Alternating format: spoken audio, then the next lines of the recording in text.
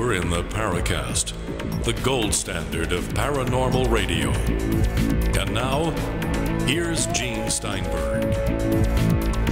This is our last show for 2017 of the Paracast. Some people might wish it was our last show forever, but that's not going to happen. We're going to be observing our 12th anniversary in February. They said it couldn't be done, but it was. But we've assembled with me and Chris Loren Coleman. And we're going to talk about his book in just a few moments, his newest book called Mothman Evil Incarnate. And it's subtitled The Unauthorized Companion to the Mothman Prophecies. That's a companion. If it was a sequel, I guess we'd call it what, Loren? After the Mothman? Or more prophecies. Uh, Who knows? Or prophecies too. No, it would be Caterpillar Man, wouldn't it? Well, it'd have to be zombie something because if John Keel did it, since he's dead, that would open up a whole new can of worms. The Mothman Dead. Right. Like Walking Dead. All right. Before we the, get the to that, Flying Dead. I wanted to bring up to our listeners something. We started this conversation and I after the Paracast, which is the premium podcast that comes with subscriptions to the Paracast Plus, and you go to plus.theparacast.com for more information. But we talked about the recent revelation, starting with a New York Times article, that at the behest of former Senate Majority Leader Harry Reid, they allocated $22 million for a UFO program. And I guess we're, as they say, a little skeptical of what that's going to do. There was an article also from Nick Redfern in his blog, basically saying he didn't expect much of anything. And bear in mind here what's going on. We have a U.S. senator, a powerful U.S. senator. This is when the Senate majority was in the Democratic Party. Powerful U.S. senator, interested in UFOs. And he's a friend of a billionaire by the name of Robert Bigelow. We all know about that character, right? And we know because he said so on 60 Minutes that he believes UFOs are real and that they're alien. So I wondered here whether this whole thing was set up to mollify Senator Reid and also to give some money to Bigelow because that's what happened. You know, they gave him the money to do the research. And what happens within a year or so after that? Bigelow goes to MUFON, offering them money to do some research. That didn't work out so well. But what we've learned now is that money didn't come from Bigelow's pocket. It came from the U.S. government. Oh, well. Did Bigelow really need $22 million to do UFO research? Of course not. Just an observation, Chris. yeah. Um, well, I guess billionaires, they, they never have enough money. That's why they're billionaires. But we don't want to get into politics, but that's why they cut taxes because they need more money. No, I, I've been warning people since the whole thing uh, broke that you know everybody's all gaga and they think that this is the uh, you know the beginning of the big uh, the big D disclosure. And I keep reminding them, look, these people have been lying to us for seventy years. What makes you think they're going to be telling us the truth now? I mean, you know, I, I just it's just very hard for me to believe that people will just suddenly go into this convenient, complete denial surrounding, you know, how the subject's been treated within the government, and it, it just, it's just, to me, it's downwind to the fish market, like I explained last week on the show, and I, I don't really see this as being anything more than a bunch of grandstanding, and um, you know, sure, the government's admitting this and the government's admitting that, but uh, it's this whole thing um, there's really there's a lot of smoke but there's not much fire. And the thing to bear in mind too that if the US government has already had the opportunity to look at alien craft crash spaceships like Roswell or other places certainly not Aztec and alien bodies. They've had all this technology. They've been getting gun camera photos of UFOs and other things for 70 years. Why would a new investigation in the 2000s make a difference? If the government has something to disclose, how would this impact that? If they knew all this stuff about UFOs that they allegedly know, why did they need to spend another $22 million on the subject? Well, Just to mollify a U.S. senator. It goes back to that. If I can make a comment, anytime. Uh, what interests me about this is the broader framework. I think it's an old boys network. I think they wanted to spend some money, help out a friend. And of course, Bigelow is connected to Skinwalker Ranch. Bigelow has had some Bigfoot sightings, even. So there's, uh, and then you get the whole remote viewing people and John Alexander. And uh, I think there's a whole kettle of fish here. Maybe it does smell downriver but it could be what really occurred was that they got caught uh, a little bit. But I do think that the big D is more about disinformation and denial than it is disclosure. yeah, a, a, different D word. right, right. Uh, and $22 million, it sounds like a lot to me. It's not. But it's not to the government. It's not to the military. It's not to Bigelow. No. So it's all this is kind of laughable, but it is interesting that it comes right back to Las Vegas, and uh, I yeah. think there's more going on in Las Vegas than we know about. You know, from uh, multiple shootings to the secret behind Blade Runner 2049. You know, lots of things point back to Las Vegas, and this uh, this whole thing is Las Vegas written all over it. Wait a minute, wait a minute. Blade Runner 2049, what about it? Well, if you haven't seen the movie, I don't like spoilers, but Las Vegas is part of it. How about half a spoiler? I don't think I'll be seeing the movie for a little while until it's free on cable TV. Well, Las Vegas turns out to be the place where uh, a major nuclear attack occurs. It's where um, you know Harrison Ford is ho- holed up, and a lot of things that everybody wonders what was happening in the first Blade Runner, and it, you know everybody fantasizes about going off to Montana or something. Well, people went to Las Vegas, so it's just it's pretty bizarre. And the movie came out, you know, it was already in production. It was already going to be shown. And then it comes out the same week that there was a massive shooting in in Las Vegas. There's just a lot of strange things there. Yeah, it kind of reminds me of the China syndrome coming out a week after uh, Three Mile Island. right.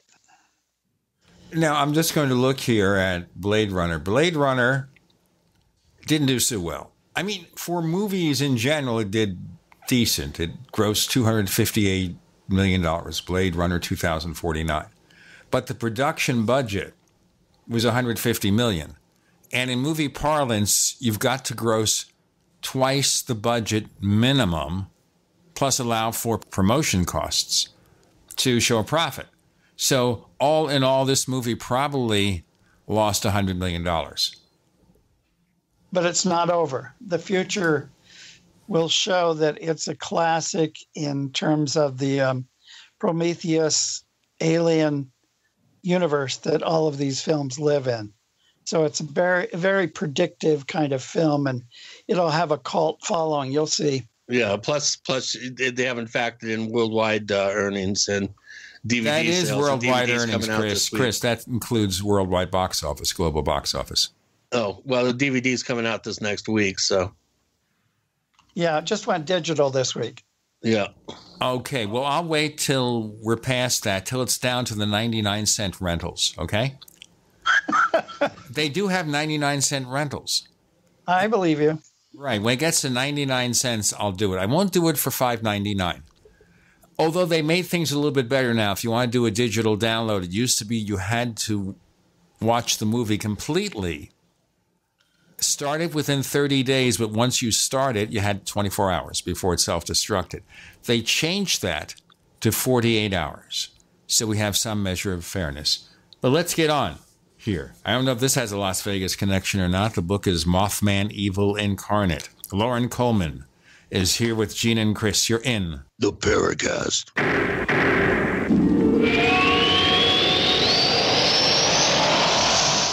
We also have swag. You know, we have all these exclusive Paracast things that you can buy We've got like, I guess, 60 or so different items and entails t shirts, sleeves for notebook computers, iPad cases, mouse pads, the Paracast Jumbo tote bag, all sorts of t shirts and jackets and stuff like that for men and women. We have a Paracast aluminum water bottle. All this stuff, you go to store.theparacast.com, store.theparacast.com. What makes it special is that the items are the best quality, you know, great t shirts, fabrics, and they have our official logo on them. That's what makes them special in multiple sizes and colors. We even have stuff for children, stuff for women, stuff for men. We have all sorts of sizes, like small up to X large. A lot of good stuff. That's the swag from the Paracast. You go to store.theparacast.com, stop by, and take a shopping tour. Attention type 2 diabetics. If you or a loved one has taken Invokana, Invokamet, or Invokamet XR or other inhibitors for type 2 diabetes and suffered amputation of the toes, feet, or legs, you may be entitled to substantial financial compensation. The FDA has warned that Invokana, Invokamet, or Invokamet XR and other inhibitors for type 2 diabetes cause an increased role in amputations of the toes, feet, and legs. If you or a loved one has taken Invokana, Invokamet, or Invokamet XR or other inhibitors for type 2 diabetes and suffered amputation of the toes, feet, or legs, you may be entitled to substantial financial compensation. Act now. Time is limited to file a claim. For a free consultation and free information, call Injury Help Desk at 800 475 7607. That's 800 475 7607. Again, 800 475 7607. Call now. This is an advertisement. Paid non attorney spokesperson. www.injuryhelpdesk.com is responsible for this advertisement. Principal office, Las Vegas, Nevada. The answer to being in control of your own healthcare is freedom from insurance. Become part of a group of self pay patients that come together to share in each other's medical expenses. Individual share amounts begin at $107 a month and $347 for families. Choose from three health sharing programs. Holistic treatments may be eligible for sharing. See guidelines. Discount programs available for dental, vision, and pharmacy. Go to libertyoncall.org. That's libertyoncall.org. Does the current world crisis in North Korea or our domestic crisis right here in America concern you? Well, I know it concerns me. My friends over at Legacy Food Storage have solutions in the event there's the inevitable. What's the inevitable? Civil unrest, a run on your local grocery store. And here's my question to you If this happens, how do you feed your children? How do you feed your grandchildren? Legacy Food Storage has the solutions. In fact, they can help you implement a simple plan to take care of your needs in the event of the inevitable. By calling them right now, I have authorized them to give you a special 20% discount at checkout by simply using GCN. Call 888 543 7345 or visit them at legacyfoodstorage.com. That's 888 543 7345 or visiting them at legacyfoodstorage.com. Make sure you use GCN at checkout for an incredible 20% discount. Don't be a victim. Take control of your life now. If you're talking, they will hear you. Why are we getting killed like this? Kyle's not here. Got caught drinking beer in the park a couple of nights ago. Really? Yeah. Zero tolerance. He's out for the season. Harsh. Hey, he knew not to drink. We've made that clear to all of our kids, right? Uh, no, not really. Bill, if we don't tell them what we expect and why they shouldn't drink, how are they going to know? Talk. They hear you. Hear you. You can do it if you try. We'd like to hear from you. If you have a comment or question about the Paracast, send it to news at theparacast.com. That's news at theparacast.com. And don't forget to visit our famous Paracast community forums at forum.theparacast.com. Chris is presenting not his voice for Bigfoot, but his voice for Mothman. So, Loren Coleman, why did you decide to do this book? Well, as you may recall, I did a book in 2002. What what happened in 2001? I was, you know, I've been a friend of John Keel's for a long time, since the 60s, the late 60s, and uh, was very involved in helping him with different kinds of cryptid and cryptozoological and Bigfoot phenomena for his book uh, Strange Creatures, which came out in 1970. And in 1970, he put a little chapter in there about Mothman. And I knew about Mothman. I'd been interviewing people, been traveling there, been talking to people, but of course wasn't as prominent as John Keel. Well, in 2001, I was writing a book about Mothman because I thought I had something to contribute. And all of a sudden, I get a call from Sony Screen Gems, and they said, We hear you're doing a book on Mothman. Could you speed it up? and, and I said, What? You know, I, I write on my own pace. And They said, No, no, no, you don't understand. We don't want to pressure you, but we have a movie coming out next year, and we'd like to have your book come out at the same time the movie comes out because the whole idea of our book uh, of our movie. It's based on John Keel's book, but his book came out in 75. And we kind of like to have a new book out that really um, reinforced the fact of our tagline, which is based on a true story. So I said, well, I'll see what I can do. And I actually was able to get the book done. Uh, it was published by Paraview and then they called me up later. We kept talking, and they wanted me to. Uh, they flew me out to California to do um, a news conference with all these science fiction magazines, and I, I said, well, you know, I'd like to bring my kids. My kids were like middle school kind of age, and they sure, come on, here's tickets. You know, here's a car, here's a motel, you know, in, in Beverly Hills. So of course I'm going to do all of this. I had great fun, and then they said, you know, by the way John Keel is blind. He had a cataracts operation. They left staples in his eyes and he can't do a promotion. Would you do the promotion for the movie and promote your book too? So I said, sure. So when the movie came out in January, I actually did 400 radio interviews in one month. Wow. I, I remember one day I was on like seven, eight radio shows one after another, as well as all the big ones like Paracast. I'm sure I was back back in those days. I was on there talking about Mothman. So I wrote the book. It was a pretty basic book about Mothman, but I called it Mothman and Other Curious Encounters. So I did information on Flatwoods Monster, on the spawn of Keel, you know, different kind of cryptids and winged weirdies and different things like that that I'd written about in Fate magazine and had kind of expanded all those chapters and and made it into, you know, a nice little book. And then the movie, you know, it was a very successful kind of psychological thriller. Uh, was done by Mark Pellington, who had previously done MTV videos, but also he'd done Arlington Road so he had a very conspiratorial mind about him. And he wasn't interested in the UFO part of uh, the Mothman book. He was only interested in the Mothman and kind of psychological thriller. So on the radio shows and on afterwards, I started noticing there was all this bad luck in the wake of Mothman. You know, sometimes after I'd get off a radio show, uh, light bulbs would burst in my house, or people would talk about you know somebody dying or uh, and so i started collecting names of individuals connected to mothman either the eyewitnesses or were in the movie. And i knew that from poltergeist and other movies like exorcist there was always this business about movie curses. But like with poltergeist no more than six people died that were connected to the movie. Well i started collecting these names and within a year or two I had 80 names of people connected to the Mothman movie and to the Mothman incidents that had died. Uh, some old age, but some of them were suicide, some of them were young. Like actually, Mark Pellington's wife, uh, within uh, two years after the movie came out, she mysteriously got sick and died after a four month illness that has never quite been explained. And she was 42.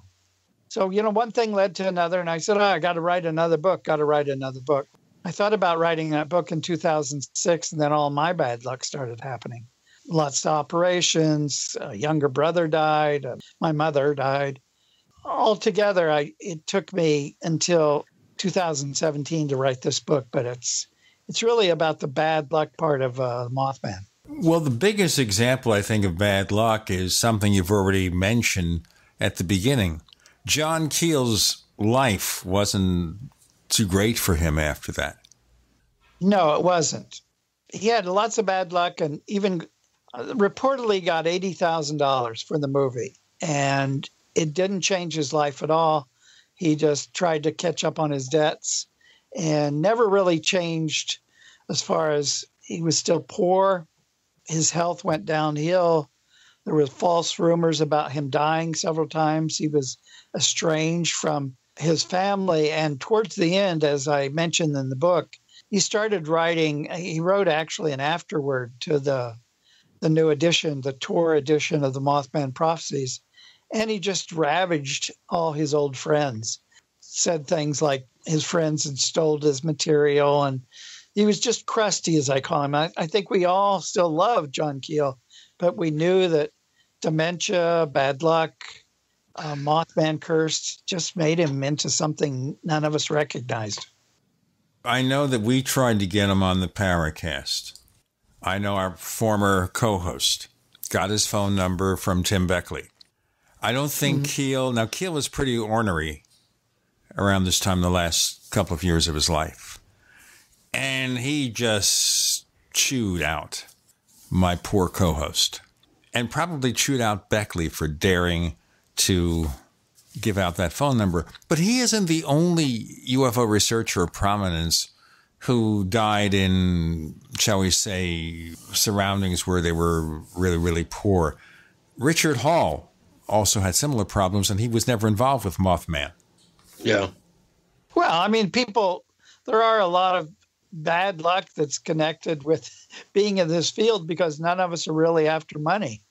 We have a passion about the field there are, of course, those few that try to go after the money, but in general, what I tried to do is look at the thread of Mothman, like Jim Keith, who we all know for Black Helicopters and, and a lot of other work he did. He also had a major theory that Mothman was nothing but a CIA experiment in Point Pleasant, West Virginia, in which everybody was being given LSD. Let's explore that in our next segment. Loren Coleman. Okay. Gene and Chris, you're in. The Paracast.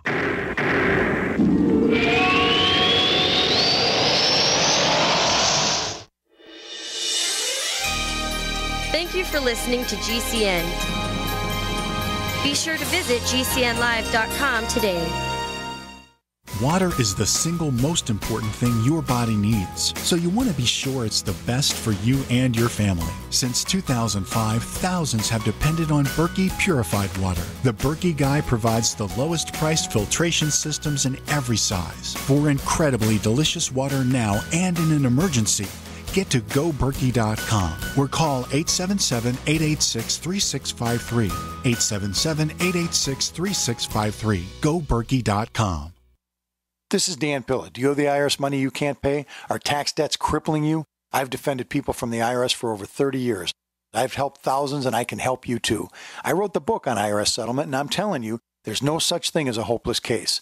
Call 800 34 no tax to finally get free of IRS debt. With the IRS's new programs, there's never been a better time to solve your problem. Call 800 34 no tax. That's 800 34 no tax or my website, danpilla.com. Warning if you're drowning in debt you can't afford, do not let the credit card companies trick you into thinking that you have to pay it all back because you don't. What the credit card companies don't want you to know is that there's actually a way to get debt free without paying off your entire debt or going bankrupt. If you have $5,000 or more in credit card debt, you now have the right to let us settle that debt for a fraction of what you owe. For free information, call Credit Associates now. 1 800 959 5759. We'll even show you how much money you could save. If you can't afford to pay off all your debt, do not let the credit card companies trick you into thinking that you have to. Call Credit Associates now for free information on how to get debt free faster than you ever thought possible without debt consolidation or bankruptcy. We depend on your success and offer a guarantee, so there's no risk. For free information, call now 1 800 959 5759. That's 1 800 959 5759. 1 800 959 5759. What would your life be like if you woke up each morning with new vitality, feeling better than you have in years, and you noticed a difference in your sleeping patterns, blood sugar levels, and had a sense of well being overall? There's something that is changing thousands of people's lives, and you could be one of them. It's called Heart and Body Extract. Sharon Harris, co creator of Heart and Body Extract, talks about the positive effects of Heart and Body Extract. What happens with the formula Heart and Body Extract is it's giving the body the necessary vitamins, minerals, amino acids, enzymes, phytonutrients so, so the body will heal itself. And yes, the body does have the ability to balance blood pressure, balance cholesterol, clean and unclog the arteries. It can also work on uh, balancing the circulation for diabetics. So the body is an amazing thing. It simply needs some help so it has the tools to heal itself. Heart and Body Extract gets results. To order your two month supply, call now toll free at 866 295 5305. Order online at hbextract.com. People search the internet for everything, including you. With a few clicks, information from your past can be quickly discovered, from business deals gone wrong to misleading reviews, negative articles, and unflattering images. Studies show 78% of people search for someone online before doing business with them. Will they find the real you? With ReputationDefender.com, you can establish a positive internet presence. ReputationDefender.com pioneered the field with over a decade of experience, serving thousands of successful individuals and businesses. We use patented, award winning systems to boost positive content and suppress negative material. Don't let the internet define you. Take control of your reputation today with ReputationDefender.com. For your quick, free reputation analysis, call 800 831 0771. That's 800 831 0771. 800 831 0771. Or visit reputationdefender.com.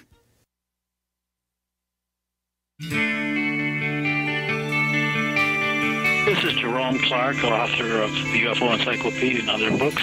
You're listening to the Paracast.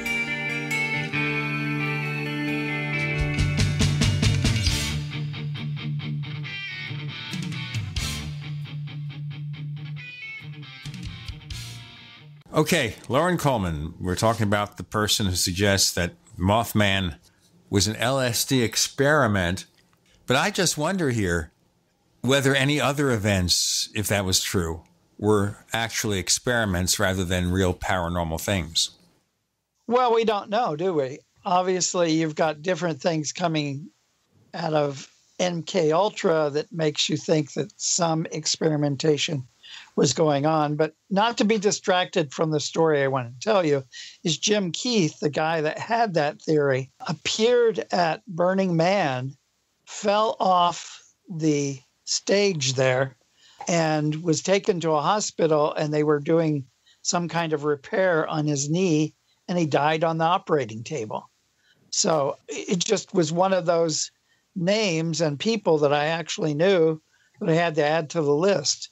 I don't know if there's LSD experiments going on and people are hallucinating monsters here and I there. don't think so. Right. But I'm saying that you confront something as incredible as Mothman, people are going to come up with their own theories. Some of them are farther out than thinking that Mothman may be a giant owl that's been undiscovered or uh, some kind of entity from a UFO. I mean, there's there's as many theories as there are people connected with Mothman.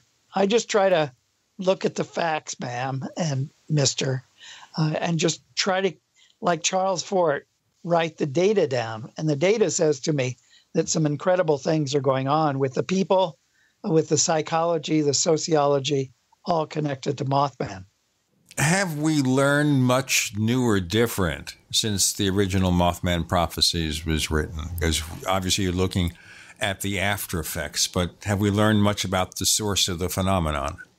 Not exactly. I mean, I think that if you're saying, has there been any theories or any ideas that have explained Mothman? No, not really. People have noticed things like what I call the Mothman math, which nicely uh, syncs with the number 13. You know, it was the Mothman was seen in November 15th, 1966, exactly 13 months later when LBJ turns on the White House Christmas tree lights. The bridge collapses and 46 people are killed when they fall into the the water and they they actually found the cause of that bridge collapsing it was I bar 13 in the bridge. And then Mary Hyre who was John Keel's friend, and the reporter that was uh, most connected, she died two times 13, 26 months later at the age of 52 of a mysterious ailment. So the number um, 13 keeps coming up over and over again. And I actually uh, write somewhat about that in the book, and I've blogged about it since then. So there's all of these things that happened after the bridge collapsed when Mothman was supposed to have disappeared, uh, including one of them. If you consider the bridge collapsed in 67 and Keel didn't write the book until 75. As I mentioned in the book, I do a whole chapter looking at Point Pleasant. Point Pleasant really forgot about Mothman until the movie came out in 2002. It took a lot of uh, pushing for Point Pleasant to really get to the stage where they became sort of the Mothman version of Roswell because they were ignoring the creature. Well, it was it was quite a tragedy. It's not uh, it's not you know it's quite understandable that a town would really not want to become known for such a tragedy. Uh, so no, I could see why there'd be some pushback on that.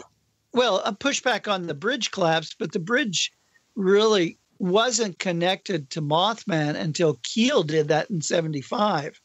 There was lots of people that would be willing to talk about Mothman, but because of this depressive uh, mourning that they continued on, a city that was uh, up to 6,000 people started going to 4,000, 2,000. You know, the, the population dropped, the downtown became a ghost town. Then in 2002, 2003, it all turned around. They could actually celebrate Mothman as opposed to just be depressed and suicidal about the Silver Bridge collapsing. Right.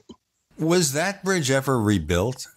It was a little bit down the way, and they once again painted it silver. So some local people actually call it the Silver Bridge. What was it called before then? The Silver Bridge. You see? I looked it up since we're dealing with movie stats. Okay. Mothman Prophecies, released January 25th, 2002. Production budget $32 million.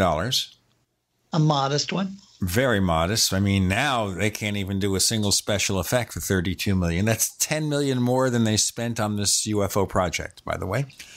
The worldwide gross was 55 million, which means this movie lost money. Okay, mm-hmm. remember the doubler. It would have had to have grossed at least 64 million and then allow for special promotion. In other words, it would have had to have grossed maybe 75 to 80 million minimum to at least break even for the production company.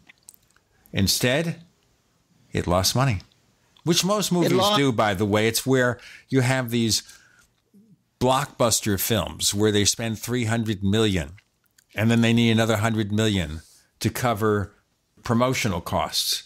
And then you end up with a movie like Justice League which so far has only grossed 647 million, which means it'll probably lose somewhere between 50 and 100 million for Warner Brothers. They're going to take it out of Ben Affleck's paycheck. But one of the things with the Mothman prophecies, it became such a frequent um, replayed film on cable, you know, over and over again that it actually caused people to know what Mothman was all again. So I, I, I would think that even though I understand what you're saying about the theatrical release, I think there must have been money in terms of selling it to cable, selling it DVD, and other other ways, because it's a, a film that they still play frequently on TV. Well, we have, of course, DVD sales, but remember also we have Hollywood based accounting. So it doesn't matter how much money that movie made. Maybe at the end of the day, it grossed 80, 90 million because of cable TV rights, because of DVD, whatever sales. Maybe it grossed 80, 90 million. I assure you, as far as the producers are concerned, it was a money loser. Sure. And they made money, though. They always do, you know, unless it loses a lot. I still think they'll make the money back from Justice League. But what does that have to do with Mothman prophecies? But I'm looking here. You have in the back of the book a death list, not just the people who died when the bridge collapsed, but people who died after it. You mentioned some names. Of course, we have mentioned John Keel. You also mentioned Gray Barker. Now, Gray Barker wrote a book about the Silver Bridge. Yes, he did. He called it the Silver Bridge. It was part fiction, part uh, reality, and uh, I did not know that. Oh, yeah, and um, he was very involved with the Silver Bridge and also the Mothman, also Flatwoods Monster. He, of course, was based in West Virginia. Um, James Moseley, uh, really gave it away that he died from AIDS, that Gray Barker died from AIDS. And so he had a whole secret life, which, of course, in the 50s was very important to have. Uh, James Moseley may have shared that secret life. But. Uh, well, of course, it's something that we basically mostly knew. His friends knew about that right. other life. But yes, that's why he died. But it's easy just enough to say, well, maybe it had something to do with this. But then he wrote that book in the 60s. And he died, right. what, in the 1980s? Right. So, how we can make a connection, who knows? We're going to connect a lot of things here. Connecting dots or Mothman with Gene, Chris, and Loren. You're in the Paracast.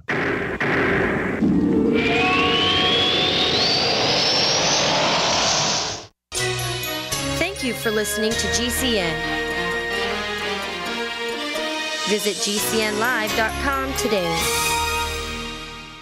Do you need a website? Well, you can get a great deal on hosting services with Namecheap's legendary coupon code. They're offering substantial hosting discounts on shared hosting, business hosting, VPS hosting, reseller hosting, and even dedicated servers. Namecheap is preferred by millions. It's backed by a money back guarantee. Use the coupon code LEGENDARY to cash in on the special deal at namecheap.com. Namecheap.com. First came Attack of the Rockoids, and it was a critically acclaimed success. And now there is The Coming of the Protectors. A former military intelligence man is contacted by a space woman in a dream, a dream that turns out to be a nightmare because evil forces on our distant planet are planning to conquer the Earth. This is gripping science fiction of the classic kind. Attack of the Rockoids and The Coming of the Protectors. Find out more at rockoids.com. That's rockoids, R O C K O I D S.com. Most people think life insurance pays after you're dead. That's true. But did you know you can have tax free access to your life insurance while you're still alive? You can use the life benefits of your life insurance to grow your money with certainty and guarantees. No stock market risk, no tax risk, and no penalties. Call Life Benefits if you'd like a free book about how this can be done. Call 702 660 7000. That's 702 660 7000. Fully cooked, ready to eat bacon. I'm talking thick, meaty, center cut presidential bacon. Savory and delicious. I buy some, I use some, I store some. Awesome. No refrigeration needed with a 10 year shelf life. NASA pack technology. Bacon. Fully cooked, fully hydrated, ready to eat right from the pack bacon or warm and served. Life saving, ready to eat bacon. 10 year shelf life bacon. Ships free at fullycookedbacon.com. Fullycookedbacon.com. Anytime, any place, anywhere. Radio remains the most intimate of all forms of media. At home, at work, in the car, on smartphones. Over 90% of consumers still listen to radio every week. That makes choosing radio as a place to advertise your business one of the best decisions you can make. Email advertise at gcnlive.com and partner up with an experienced GCN representative. Advertise at gcnlive.com. Easy, affordable, effective. Have you checked your ECS lately? We have. We are New Pharma, scientists who specialize in human functions controlled by the endocannabinoid system, or ECS. Let me simplify. Your ECS is involved in physiological processes like appetite, pain sensation, mood, memory, and immune systems. New Pharma's patent pending science is the big difference in our natural solutions, formulated for your well being. For example, our foundation product provides targeted nutrition to support a healthy endocannabinoid system, which is directly responsible for managing and controlling inflammation. This product contains turmeric, which is known as one of the best anti inflammatories on the planet.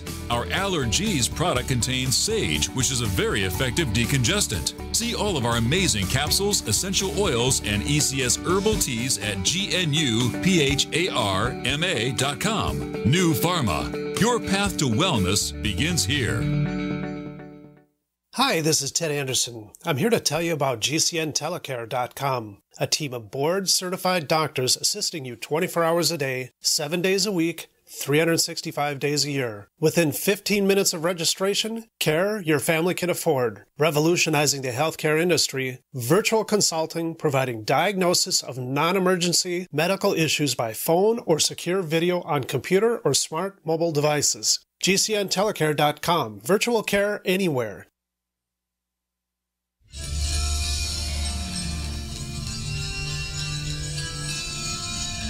Hi, this is Bryce Zabel. I'm the producer of Dark Skies, the co author of AD After Disclosure, and you are listening to the Paracast, the gold standard of paranormal radio.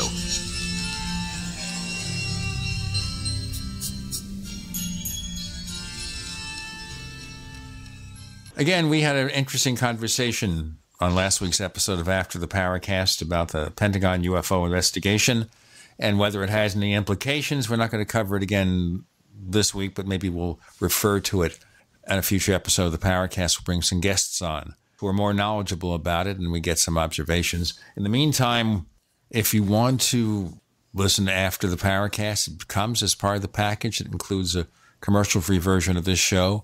It's called Paracast Plus. Go to plus.theparacast.com to learn more. Plus.theparacast.com. The book is Mothman Evil Incarnate, the unauthorized companion to Mothman Prophecy. You've got this long, long death list. We mentioned Gray Barker for obvious reasons. His death was due to obviously a condition that hopefully is not going to take too many more people. We mentioned John Keel. We mentioned other people that I know and I recognize here. I didn't think their death could possibly have anything to do with this. And that was somebody that used to write for my magazine occasionally, D. Scott Rogo. What happened to him? D. Scott Rogo was actually murdered. Another gay man who apparently got involved with someone that either was a friend that turned into an enemy, turned into a burglar. Uh, a lot of confusing things there. D. Scott Rogo was very interested in Mothman and had really uh, talked to Jerry Clark and myself quite a bit about Mothman. Uh, he's not somebody, of course, as famous as John A. Keel, or even one of the first people that um, appears on the list right after uh, the bridge collapsed, uh, relatively speaking, is Fred Freed, who uh, was an individual that a lot of people know from the NBC white paper.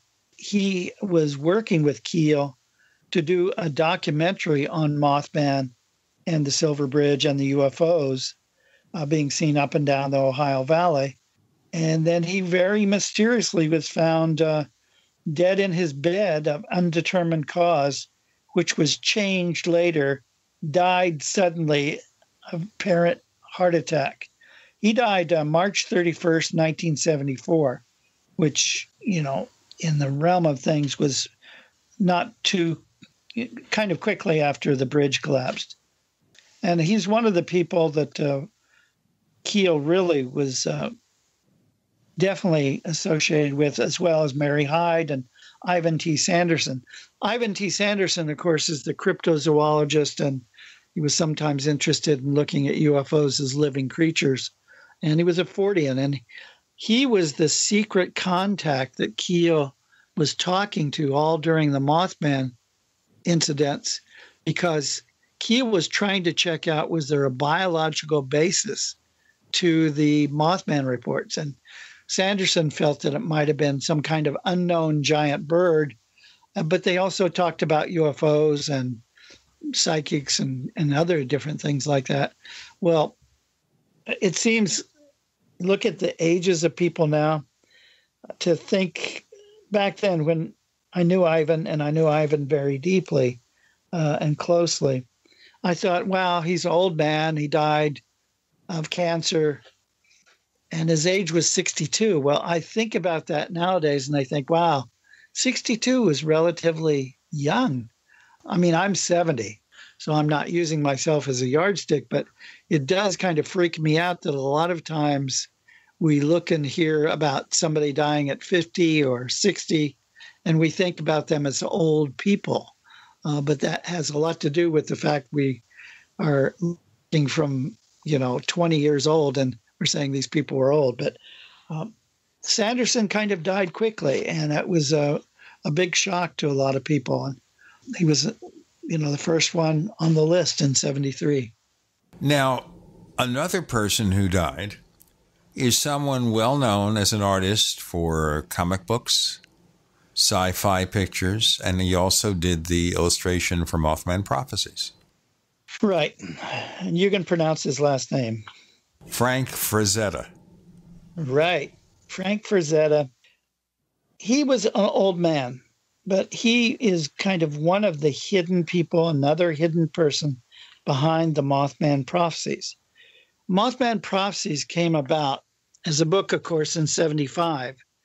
And then High Times came along and they did an article about it and they used Frank's illustration for the cover. Well, along came Ron Bonds, who actually died very mysteriously of food poisoning at a Mexican restaurant in Atlanta. He's on the list too. And he actually published the Mothman prophecies in 1991, I believe it was, and used that cover, which became extremely famous and actually took over the popular image of what the Mothman looks like. It looks like an insect. It looks like uh, you know a giant creature with wings in which you can see butterfly-like wings. Well, that became the statue that is in Point Pleasant, West Virginia. Anyway, the illustrator died, his wife died, the executive producer of the movie died, uh, the person that was in charge of some technical part of the movie has died. The, the list just goes on and on for me that all of these people seem to have pivotal roles in the movie uh, being produced or the Mothman cases. Now, of course, I think we can always go overboard, and a lot of people have said my list goes overboard, but that's fine. You have to start somewhere and you have to start connecting the dots and seeing uh, what it is. It's not so much me that made it, but if this feeling of death and foreboding and doom is connected to Mothman, I was trying to come up with the evidence for why people were talking about this over and over. It became more than a creature that was seen in the skies or on the road or uh, flying about, it had a lot to do with the people and their feelings about it and the death that really seemed to surround Mothman. Well, the thing I would also do here when you look at something like this and you want to be skeptical about, it, because remember, all these people didn't just die in a bunch within a few years after this event. Some lived on for years, died possibly of other conditions. Obviously, Frank Frazetta was 82. We know what Gray Barker died from, a condition that in the 80s especially really, really hurt the gay community. A really right. unfortunate and sad thing. And I like Gray Barker. He was really a, basically a good guy. I mean, he pulled a lot of funny stunts, but he was an amazingly talented writer. And I thought The Silver Bridge was really a great piece of work. You, you got into a point where you were feeling the paranormal. It wasn't just describing events because of the fact that it was allegorical and fictional to some degree. But you also have to look at it this way. If we're going to do this, should we then take any major UFO event and see how many people were impacted by it in some way, in some connection, and how many of them died? Well, of course. Are we reaching, is what I'm saying. Well, I don't know. As a Fortean in general, one of the mainstays of being a Fortean is to look for patterns. To look for patterns sort of in a predictive way, in a synchronistic way, in some fashion, try to figure out the universe. And you have to do it skeptically. You have to do it with a good sense of humor, but you still have to look. And if you don't look, you don't find anything. And I think there's a lo- there's a whole subset of people in ufology. It's not my field, and I want to say that very clearly. But there's a whole subset of people that look for deaths in ufology. And um, Nick Redfern, for instance, um, wrote a whole book called "The Fatal." Some has "fatal" in the title, "The Fatal," um, and he looks at it that way. Uh, there's even looking at how many people in ufology have died on June 24th. So, is there a cause and effect here? Is it just a coincidence?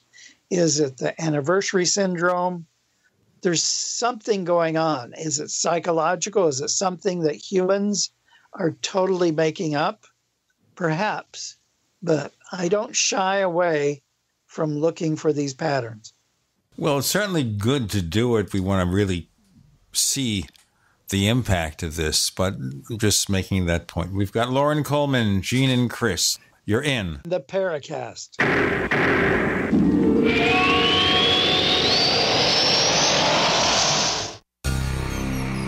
Thank you for listening to GCN. Visit GCNlive.com today. Attack of the Rockoids has been well received by critics and readers alike. It's a thrill a minute story you'll never forget. A former U.S. military intelligence officer is haunted by intense dreams about a beautiful woman pleading for his help after a terrible battle in outer space. But the dreams turn out to be true and thrust him into a telepathic love affair with a woman whose faraway planet is intent on destroying the Earth. And now the gripping tale continues in The Coming of the Protectors. It's the second book of the Rockoids trilogy, a galaxy spanning adventure that pits our hapless heroes against powerful, fanatical enemies that threaten the lives of freedom loving beings everywhere. Attack of the Rockoids and The Coming of the Protectors. Classic science fiction at its best, available now. For more details, visit rockoids.com. That's R O C K O I D S dot com.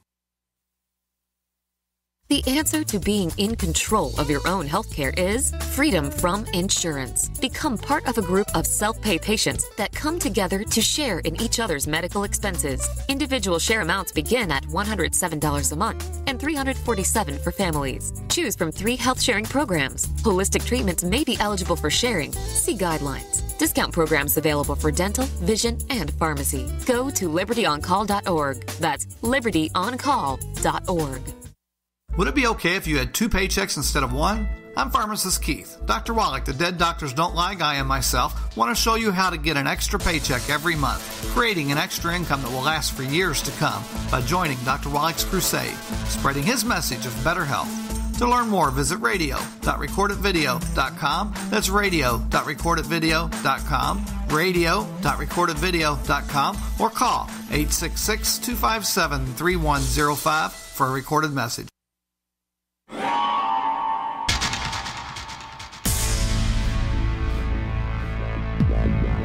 Welcome back to the Paracast, the gold standard of paranormal radio.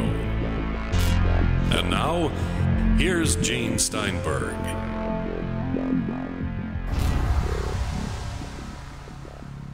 On the Paracast, Loren Coleman, we're talking about Mothman, and we've got Gene and Chris to ask him the hard questions. Loren, why did it take so long to get a book like this out? Because obviously, the Mothman happened in the 60s, and the Mothman prophecies published in the 70s, and the movie came out in the early 2000s. Well, Jerry Clark and I wrote a book called Creatures of the Outer Edge in 1975, 78. So that was uh, pretty much talks a little bit about the Mothman in there. I did Mothman and Other Curious counters in 2002 when the movie came out. It took me until now, I don't know, but a lot of things came together. Last year, I was asked to be the keynote speaker at the Mothman Festival in Point Pleasant because it was the 50th anniversary of the first sightings of Mothman. So I felt a little pressure to get this book done that I've been trying to write for 11 years uh, because this year, 2017, on December 15th, was the 50th anniversary of the Silver Bridge collapsing. So a lot of things were coming together, as well as 2017 had an explosion of what people are calling Mothman sightings in Chicago. Yeah, So- I wanted to get to that at some point. Yeah. So we I needed to talk about that too. Do we still consider the original Mothman case unexplained at this point?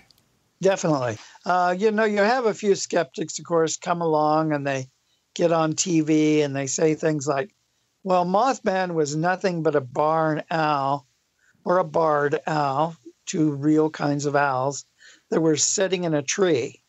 Of course, Mothman was reported to be six to seven feet tall and, uh, you know, flying at 60 to 100 miles an hour in back of cars. That doesn't explain Mothman. Everybody that I've talked to, all the eyewitnesses, I go into this very open mindedly, but also skeptically. And so I looked at the owl explanation. I looked at all of the possible, you know, people were being fooled or there were a series of different kinds of animals or different kinds of phenomena they were looking at. It all really fell by the wayside. And and it's one of those cases I have to say, I don't know. I really don't know what was the source of Mothman. And it doesn't seem to be a case where there was lots of Mothmen. There was really only one Mothman being seen. Of course, in um, in that same area, you have native peoples for hundreds of years who have reported Mothman type creatures.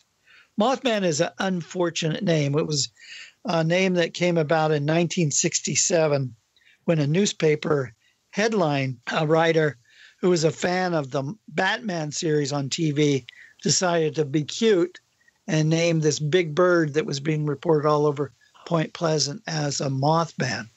Well, the native peoples, they had what they call the flying heads or the talking heads. I mean, it seemed like talking heads, but they were flying heads because the actual eyes of these creatures are on their uh, chest.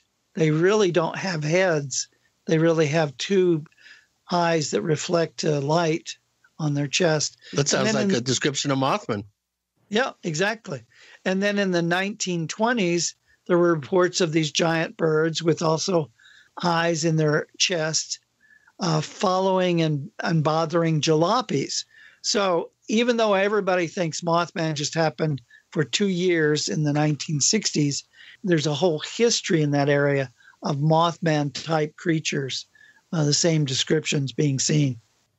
Well, what do you think of these Chicago sightings? I know Lon Strickler's done quite a bit of uh, pretty good quality work, uh, at least documenting and getting witness names uh, and descriptions. Um, how how closely have you been following this, and, and what are your thoughts on it? Well, I've been following it very closely, and I actually just did a um, a review of his book on on CryptoZoo News because uh, I'd have to back up on your description of of uh, how these cases are being gathered. I think that mostly they're being gathered through websites, and maybe some people have the names, but the names are not being published. Uh, there's uh, some credibility gaps in other people not being allowed to actually interview the same witnesses. So it's become one of those classic territorial situations where Right. uh, other people have investigators have been put down. One of uh, Lon's friends even went on a website and said that another investigator should be slapped. Uh, and this is a male talking to about a female, so it had some sexism and some, uh, you know, unfortunateness in there. So I'm very disturbed by the. I think Lon. I'm glad he wrote the book. I'm glad the cases are out there. But in my review of his book, for instance, I was not easy. The book is terribly produced as a self published book. No index, no organization, no chapters, no table of contents. One case from the you know 80s mixed in with cases from 2017 long passages of eyewitness descriptions with no analyses. So we've got a lot of raw data that needs some organization needs names needs other people to interview the same witnesses. And there's a lot of uh, checking. For instance no newspaper articles have come out with original sightings. Uh, there's only the Chicago Tribune and another organization who did articles based upon that group's investigations, but there's no double checking back to the witnesses. There's no identifying the witnesses. I personally, in all of my investigations, people identify themselves. I write down people's names in my books. People have to be able to be willing to somewhat stand forward and really have some kind of checking there. No police reports in any of the Chicago reports. Uh, one of the criticisms that I've really thrown at the Chicago sightings, if there's now over 60 sightings, maybe 70, where are the closed circuit TV? I mean, this is an urban area. You can't turn around in Chicago without at your ATM or your corner or your I've seen a couple of, of photographs, but they, they haven't been very convincing. No, no, the one photograph that is kind of widely shown around looks like an airplane landing in O'Hare. But where are the videos? That's what I'm calling for. Where are the videos in an urban area in which you have so many?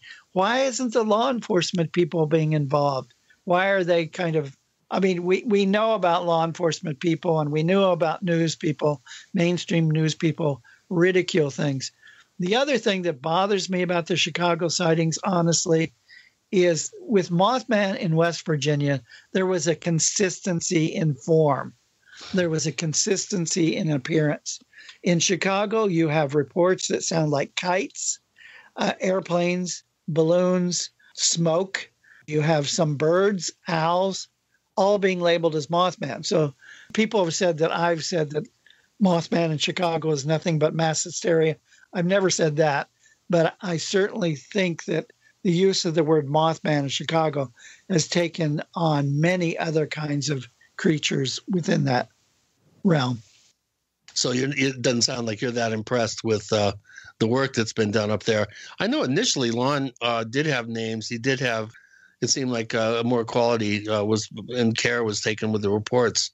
I think later on they may have that quality may have faded out somewhat, but initially, I remember he was definitely the guy that was was uh, making an attempt to at least document everything. Oh, um, I'm so. not saying I'm not saying anything about his ability to document it, but maybe one or two names slipped out in the beginning, but then it became this this is my stuff. I'm not going to share it with anybody. Yeah, well, that's unfortunate. We don't have time for that. Yeah, yeah, and with a couple of the women investigators, it's been brutal. You know what? We're going to have to do a break now. And once the broken break is fixed, we can get back here with Loren, Gene, and Chris. You're in the Paracast.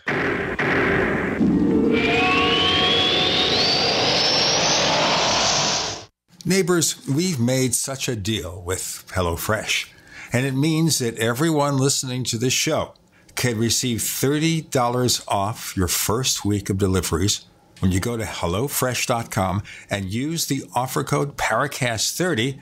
You know, with HelloFresh, you can choose the delivery day that works best for you.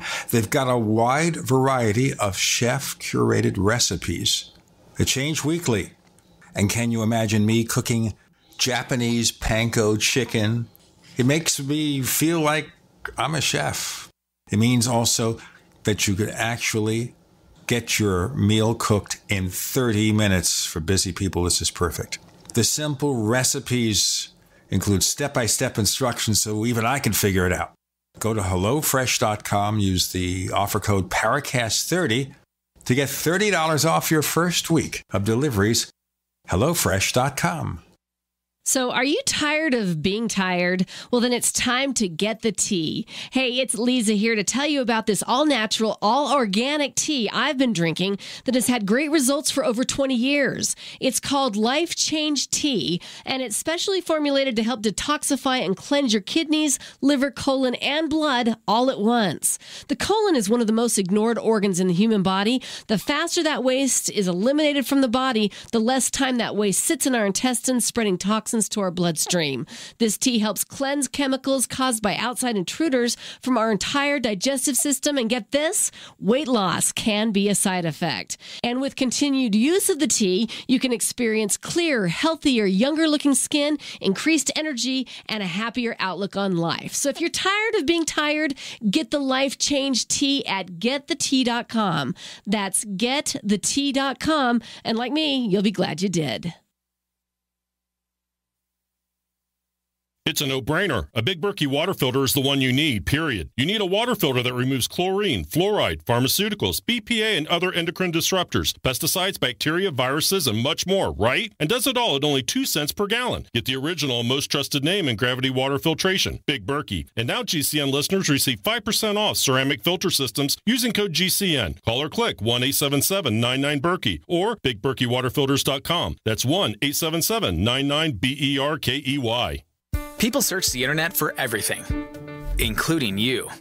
With a few clicks, information from your past can be quickly discovered, from business deals gone wrong to misleading reviews, negative articles, and unflattering images. Studies show 78% of people search for someone online before doing business with them. Will they find the real you? With ReputationDefender.com, you can establish a positive internet presence. ReputationDefender.com pioneered the field with over a decade of experience, serving thousands of successful individuals and businesses. We use patented, award winning systems to boost positive content and suppress negative material. Don't let the internet define you. Take control of your reputation today with ReputationDefender.com. For your quick, free reputation analysis, call 800 831 0771. That's 800 831 0771. 800 831 0771. Or visit ReputationDefender.com. The answer to being in control of your own healthcare is freedom from insurance. Become part of a group of self pay patients that come together to share in each other's medical expenses. Individual share amounts begin at $107 a month and $347 for families. Choose from three health sharing programs. Holistic treatments may be eligible for sharing. See guidelines. Discount programs available for dental, vision, and pharmacy. Go to libertyoncall.org. That's libertyoncall.org. We'd like to hear from you. If you have a comment or question about the Paracast, send it to news at theparacast.com. That's news at theparacast.com. And don't forget to visit our famous Paracast community forums at forum.theparacast.com. Chris is losing his Mothman voice. You surprised me, Gene. I wasn't ready. I know. I'm happy to surprise people. That's what the thrill of the show is. Oh, by the way, I'm not the only one people just sometimes dislike here. I actually got a letter from somebody who was a long time subscriber to Paracast Plus, and he stopped listening because of you. Because of me? No, Chris. Oh. Uh, he'll, maybe he hates you too. I don't know. Why? What did I do this time? I don't know. I guess he thinks you're being a little too, shall we say, direct.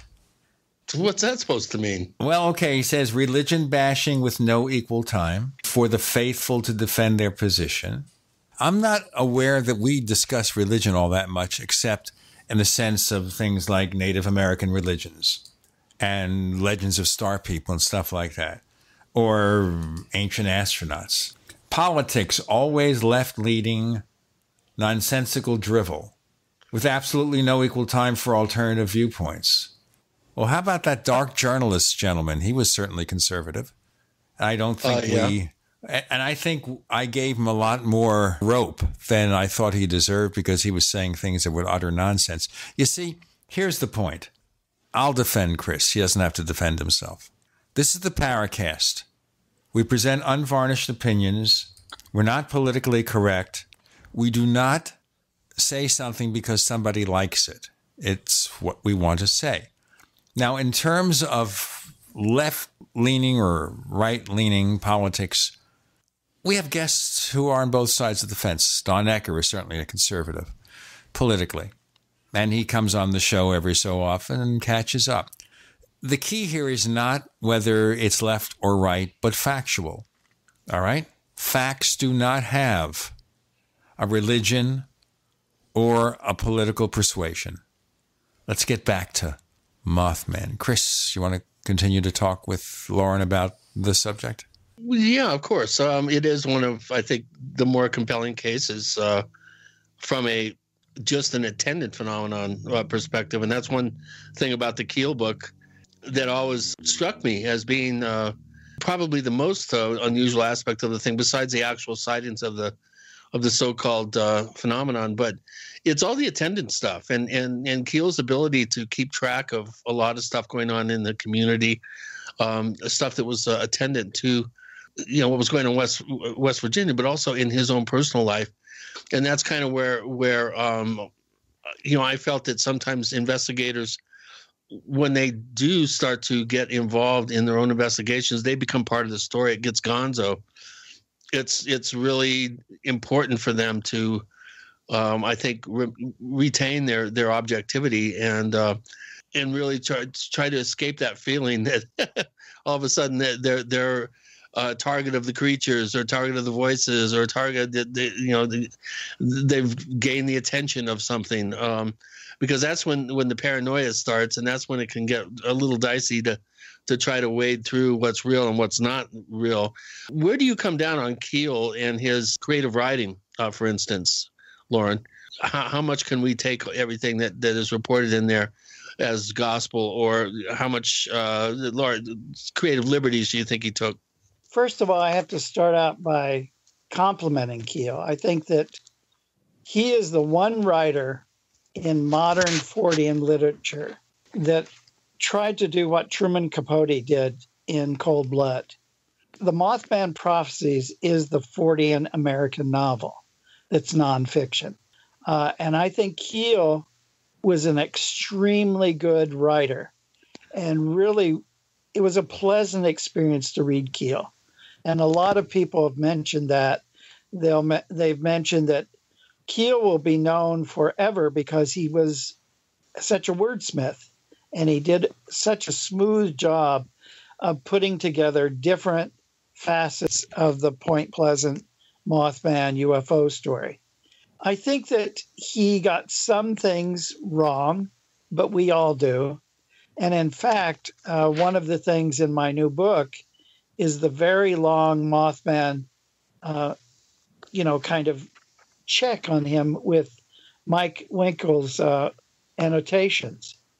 Uh, I really wanted somebody to get involved in this book with me that really looked in a compulsive way at every line in the Mothman prophecies. And I think you've seen some people like uh, Mr. X, I don't know if you know him, who did that with Charles Fort, going through his books and looking at every little thing uh, about that.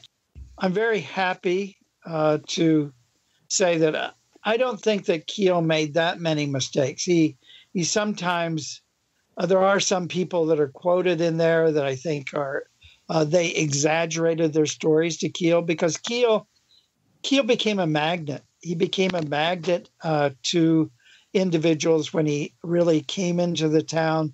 They wanted to tell him every story that happened to them. You know, cattle mutilations, UFOs, Bigfoot, uh, Men in Black, all of those, because Keel listened. Keel listened and he didn't make judgments.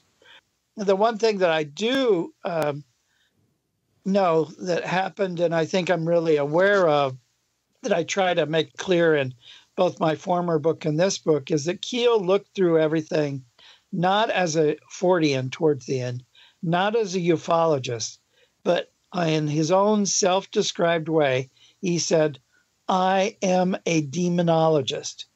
He really thought the world was full of demons. A lot of bad things were going to happen a lot of bad things were going to be predicted through his psychic friends. And for instance, when I went to interview uh, Linda Scarberry, who used to be Linda uh, Daniel, who died, at, you know, with another name because she was so scared of what was going on. She said that when John Keel came to her house and interviewed her, after Keel left, she was so frightened, so scared, so, you know, in fear of what was going to happen with regard to she was an eyewitness to Mothman that she put crucifixes on every wall in her house. A couple years later, she had a what back then of course was called a nervous breakdown. She went to a mental hospital for several months because of the whole Mothman situation, but also I think in many ways because of the way Keel interviewed her and frightened her to death.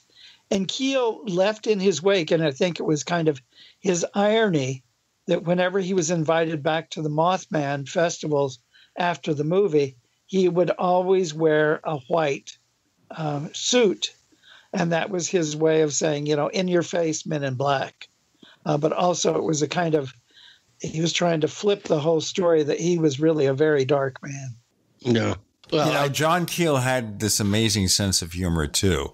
And he used to write letters to the editor to my magazine, Caveat Emptor, and they were just amazingly hilarious. We, I mean, it was like he was attacking us, but not. It was a lot of fun. We've got more to come. The book is called Mothman Evil Incarnate. Loren Coleman, Gene Steinberg, Chris O'Brien, you're in the Paracast.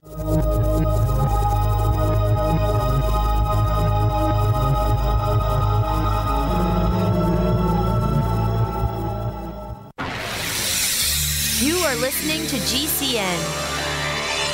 Visit GCNlive.com today. This is Dan Pilla. Do you owe the IRS money you can't pay? Are tax debts crippling you? I've defended people from the IRS for over 30 years. I've helped thousands and I can help you too. I wrote the book on IRS settlement and I'm telling you, there's no such thing as a hopeless case. Call 800 34 no tax to finally get free of IRS debt. With the IRS's new programs, there's never been a better time to solve your problem.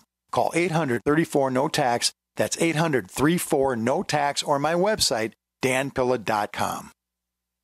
Frustrated trying to get business capital? Want to take the slow process and rejection out of the equation? GCNloans.com removes the slow, irritating approval process. Instead, get quick, simple funding. Powered by David Allen Capital, 80% of our pre qualified clients are approved in days. Pre qualify at GCNloans.com and get your money this week. It's that easy. GCNloans.com. That's GCNloans.com. Sometimes life can be a pain in the neck, or back, or shoulder. Long distance travel or long hours in front of a computer can take its toll on your body. Why take another pill? Treat your aches and pains with Sunshine Pillows. Microwavable heat wraps, heatable neck pillows, and extra large body heating wraps. Sunshine Pillows and Wraps are designed better for perfect support where and when you need it, even while driving. Sunshine Pillows are designed with your comfort in mind, will not burn you, and will stay balanced on your body to provide soothing hot or cold therapy to treat temporary or chronic pain. And the best part Sunshine Pillows start at just $20. Join hundreds of our happy customers and see why Sunshine Pillows has a lifetime 100% positive rating on both Amazon and Etsy. Click sunshine-pillows.com and take the Sunshine Pillow Challenge. That's sunshine-pillows.com.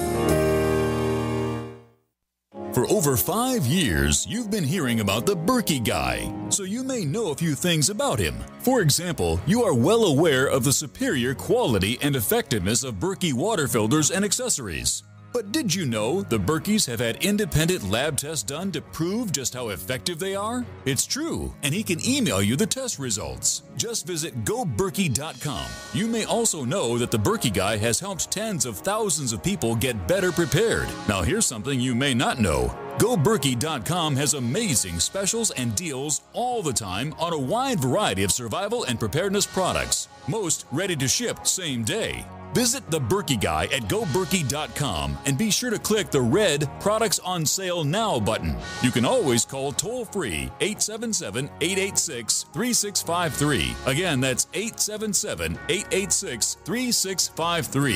GoBerkey.com, home of the Berkey Guy. Are you happy washing your hands with harsh chemicals? Are you happy doing laundry with detergents? Are you happy paying high prices? Find your happiness with Pure Soap. These all natural, earth friendly Pure Soaps are the very best you've ever used. Buy in bulk. Get a 12, 36, or 48 month supply, or get items individually and still save big. You're getting soap products twice as good as what you're using now earth friendly and natural soaps. Your family deserves the best. Happiness is 5starsoap.com. Why not put your money up the drain for a change? See them at 5starsoap.com or call 1 800 340 7091 for a catalog. Cal Ben Soap Company can save you thousands of dollars and give you good old fashioned real soaps that are triple concentrated. Soaps made from vegetable and coconut oils. See their full selection of soaps at 5starsoap.com. That's F I V E starsoap.com or call 1 800 340 7091 for a catalog.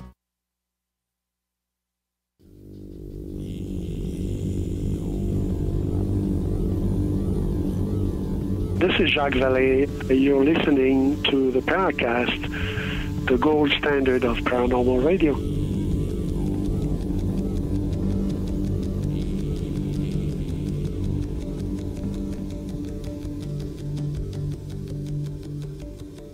Now, I don't know if you recall this because it happened, what, eight years ago. But you, Loren Coleman, Jerry Clark, Tim Beckley, Jim Moseley, Brad Steiger, and Curt Sutherly, old friend of mine. I'm sure you know Curt. We did a memorial episode about John Keel. This was July 12th, 2009. And one of the references made by several guests, and I think Jerry Clark was one of those people, was that Keel was not as rigorous a UFO investigator as he might have been. What do you think? Well, Jerry has very high standards, as you know. So none of us will meet his standards except perhaps no, none you. of us will. None of us will meet Jerry Clark's standards, and also towards the end, he really didn't like Keel. I mean, I just have to say that out. I agree with you. I think Keel had a tremendous sense of humor. Some of the letters I have from him from the 60s and 70s just would have me rolling, uh, you know, on my parents' floor, so to speak. But then what happened with Keel is he did get, he almost believed his own irony and his own crustiness. And I think with UFO people, uh, with UFO incidents, Keel would be very lackadaisical. He'd be very, he'd, that's why he threw in all the psychic stuff and almost anything else, whereas Jerry Clark would only say, you know, this very rigidly needs to be investigated this way or that. So I have to agree with Jerry, but I, I think I look through the glasses of the person making the critique. What do you think, John Keel, as a researcher? Do you think most of the key cases he talked about he got right? I mean, obviously, he had a lot of these paranoid aspects to UFOs, the doppelgangers, the crazy phone calls. And of course, sometimes I wondered when he'd ever talk about crazy phone calls, that was Jim Moseley and Gray Barker pulling a stunt. But it, it could be. I, I, think the other thing that happened is Keel was a very good researcher. He wrote things down. He kept clippings. He, you know, he did all kinds of very good Fortean filing, ufologist kind of things. But because of the movie, I mean, first you have to have the screen of the uh, Mothman Prophecies, the book, which made the story more palatable to readers. It made it like a novel. Then you come along and you have the movie, which is highly fictionalized.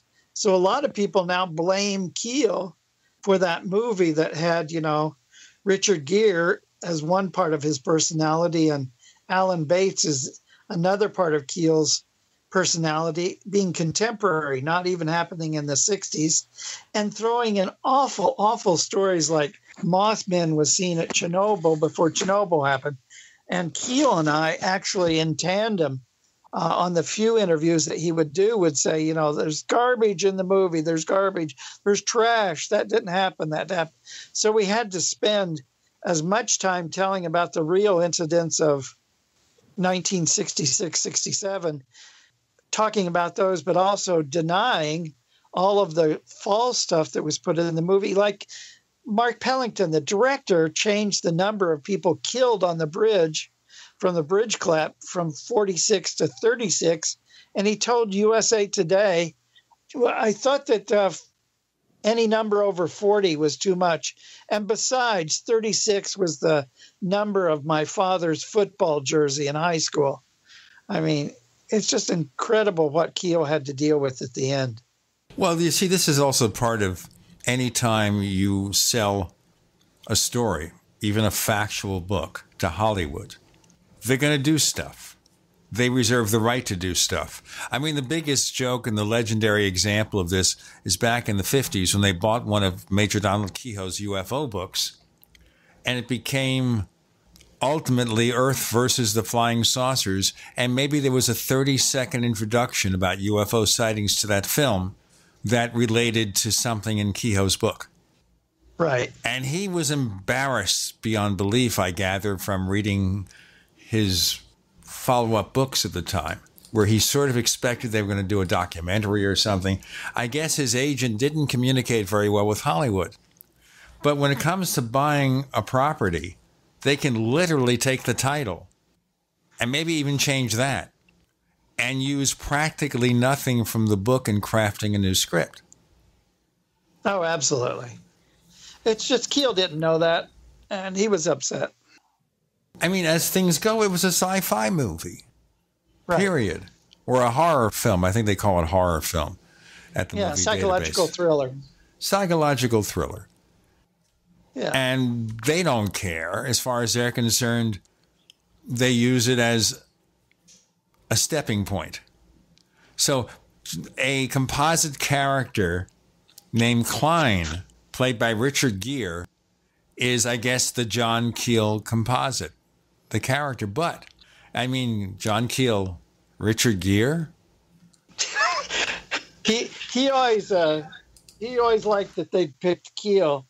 I mean, um, Richard Gere to be Keel. He thought, but then everybody in the movie knew that uh, the other character, Alan Bates, played Leek, which is Keel backwards, looked more like Keel.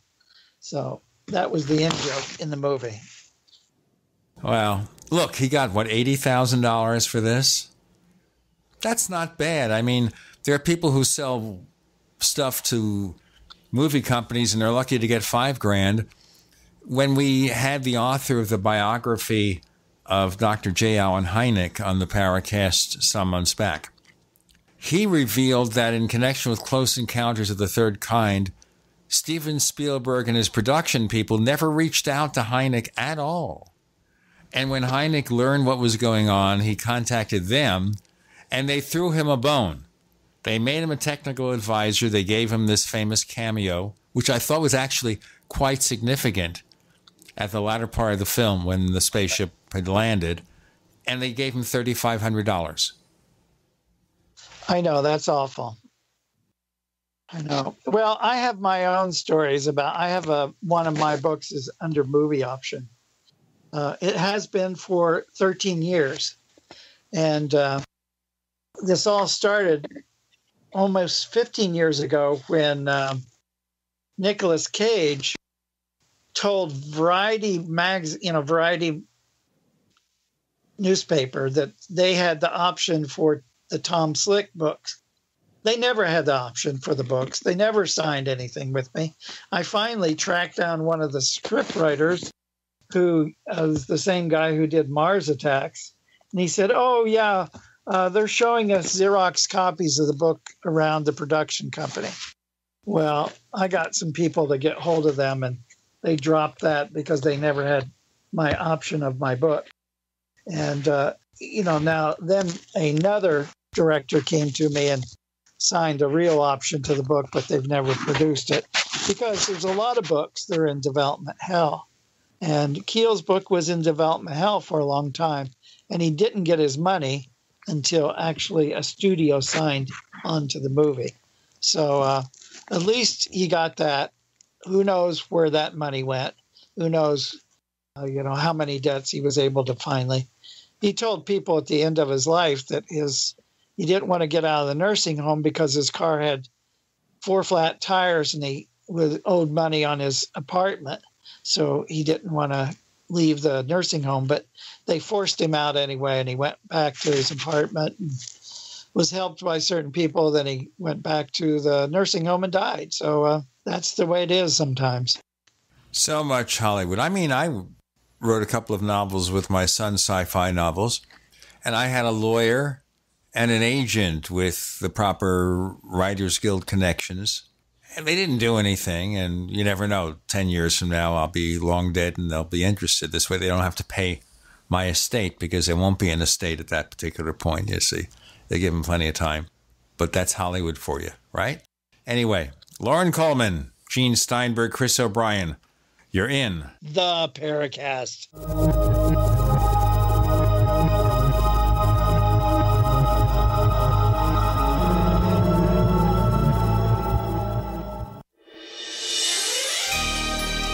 You for listening to GCN.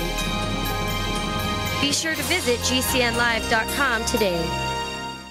Do you need a website? Well, you can get a great deal on hosting services with Namecheap's legendary coupon code. They're offering substantial hosting discounts on shared hosting, business hosting, VPS hosting, reseller hosting, and even dedicated servers. Namecheap is preferred by millions. It's backed by a money back guarantee. Use the coupon code LEGENDARY to cash in on the special deal at namecheap.com. Namecheap.com. First came Attack of the Rockoids, and it was a critically acclaimed success. And now there is The Coming of the Protectors. A former military intelligence man is contacted by a space woman in a dream, a dream that turns out to be a nightmare because evil forces on her distant planet are planning to conquer the Earth. This is gripping science fiction of the classic kind. Attack of the Rockoids and The Coming of the Protectors. Find out more at rockoids.com. That's rockoids, R O C K O I D S.com. Water is the single most important thing your body needs, so you want to be sure it's the best for you and your family. Since 2005, thousands have depended on Berkey purified water. The Berkey Guy provides the lowest priced filtration systems in every size for incredibly delicious water now and in an emergency. Get to goberkey.com or call 877 886 3653. 877 886 3653. Goberkey.com. Most people think life insurance pays after you're dead. That's true. But did you know you can have tax free access to your life insurance while you're still alive? You can use the life benefits of your life insurance to grow your money with certainty and guarantees. No stock market risk, no tax risk, and no penalties. Call Life Benefits if you'd like a free book about how this can be done. Call 702 660 7000. That's 702 660 7000. Ted Anderson telling you about Jordan Rubin's Beyond Organic Green Fed Raw Cheddar Artesian Cheese featuring whole milk created through ancient dairy breeding, unpasteurized, untreated whole milk on the same farm the cows graze, containing natural sources of omega 3s, CLA protein, calcium, probiotics, and enzymes. I have never tasted cheese this good, and you need to try it. Contact your longevity distributor or call 877 878 4203 or go to gcnteam.com. Hi, Peter Vaccaro for ParanormalDate.com. Are you looking for love in all the wrong places? Now you have a chance to change that by signing up for free at ParanormalDate.com. This incredible dating site puts people of like minds together. People who are interested in the strange, the unusual, mysteries, ghosts, UFOs, and the afterlife, and so much more. ParanormalDate.com was developed for you, people seeking a viable alternative to the other dating services. You can join for free by going to paranormaldate.com. And if you decide you like it and want to connect with people, use the code GEORGE for a substantial discount. Mark Rawlings, president of ParanormalDate.com, says so many people hunger to share their experiences about the paranormal, the unexplainable, or the afterlife, and so much more. And this is the source for them to meet and share that common interest. So sign up for free at ParanormalDate.com. ParanormalDate.com and use the code GEORGE if you decide to connect with someone you like. Fully cooked, ready to eat bacon. I'm talking thick, meaty, center cut presidential bacon. Savory and delicious. I buy some, I use some, I store some. Awesome. No refrigeration needed with a 10 year shelf life. NASA pack technology. Bacon. Fully cooked, fully hydrated, ready to eat right from the packed bacon or warm and served. Life saving, ready to eat bacon. 10 year shelf life bacon. Ships free at fullycookedbacon.com. Fullycookedbacon.com. Hello, this is John Burroughs, one of the witnesses to the Rendlesham UFO incident. You're listening to the Paracast, the gold standard of paranormal radio.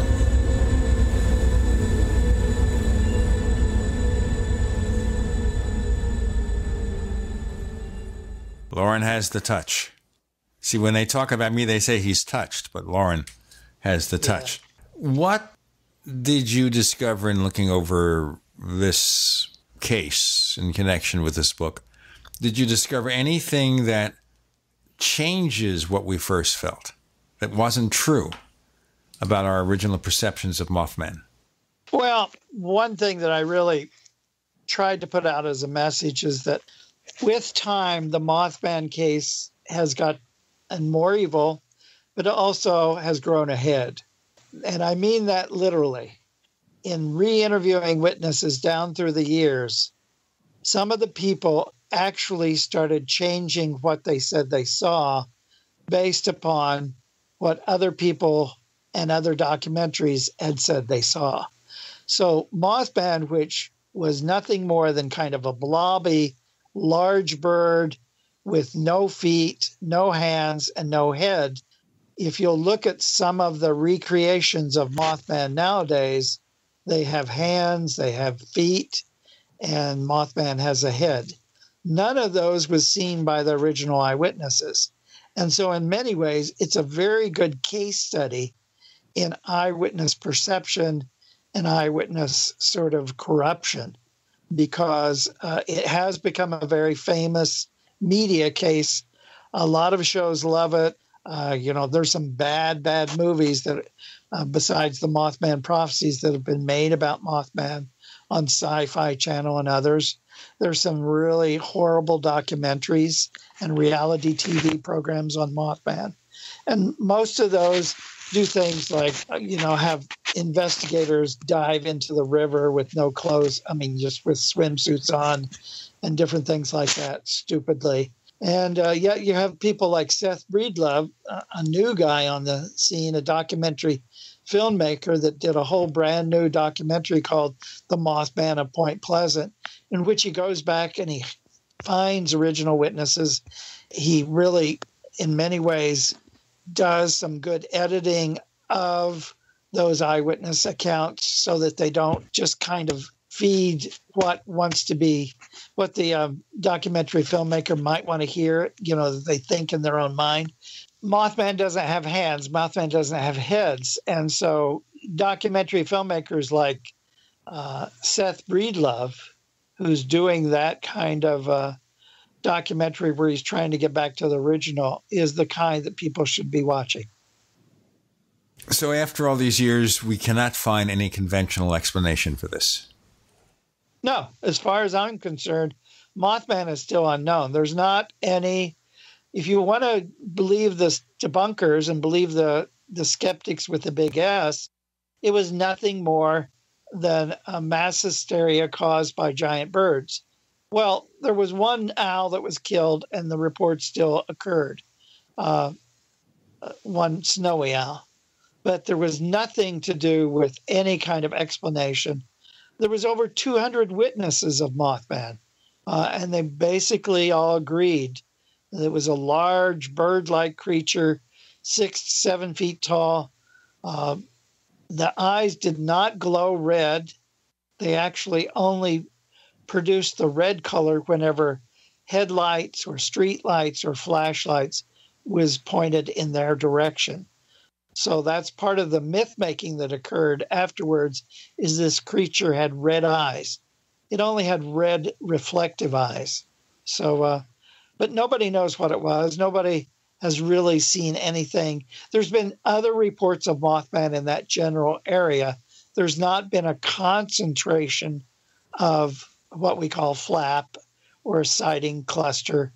Uh, and that's why uh, originally it was exciting to think about was there something else like this going on in Chicago? It turns out no. What about before the Mothman was seen? Do we have a Mothman in earlier history of paranormal events? Well, here's where it gets confusing because actually, Mothman, because it's a new word from 1966 67, you have to look backwards in time and records at other words that were used, like Thunderbird, like giant birds, like big bird, or even um, reports of creatures that seem to mimic large birds or other things. Like for instance some of the bigfoot reports seem to be mothman like if you look at how mothman and some bigfoot tend to use camouflage near trees and disappear. And so actually a friend of mine the late mark a. Hall who wrote a book called um, thunderbirds. He did a whole chapter in that book called big Hoot, Big H O O T, Big Hoot, because he felt this was the more proper name for Mothman. He thought it was a big owl, a big owl that actually stood upwards of five to seven feet tall and that could mask itself in forests and up against trees and then would reveal itself. And he felt that some people were mistakenly seeing these on the ground big owls and calling them Bigfoot. So it gets very confusing. But if you look back, and Mark is the one that did the original research, finding the reports in Pennsylvania and other locations from the 20s, as well as the Native American reports. Um, myself, looking at some of the Thunderbird reports and Winged Weirdy reports from all across the country, you can see reflections of Mothman like creatures there's even the reports in Washington state of what was called bat squatch. And bat squatch was a huge creature that had wings uh, that was reported in the same areas as Bigfoot or Sasquatch. So people thought it was some way related to Sasquatch, when in fact it's just some kind of winged weirdie, one a kind of a Fortean phenomena as far as uh, we know, like Mothman. So we could therefore have a song called Bat Squatch using the melody from the Batman theme of the 1960s. Uh, you could do anything you want, apparently, Gene, with that. Yes, yes. I mean, there is the whole confusion here is is the names. I mean, I think as long as you have people coming along and giving names to things, then then people kind of have these projections from the name that have nothing to do with original reports. But if we could get rid of all of the names, Bat Squatch and Thunderbird and Big Hoot and Mothman, we wouldn't be able to talk about them, but we might have more of the real data that all connects. Well, of course, sometimes then the using the words flying saucer or UFO conveys an image of what people are seeing that may be colored by the term? What about ghosts exactly. and what about Bigfoot? Right. Bigfoot has an image of, you know, ghost ships from Scandinavia or flying saucers from Kentucky or little green men. Those all do give images that really already set up the eyewitness trying to talk about it with English language uh, that really gives them no flexibility. Uh, even the, and that's mostly caused by the media. Then.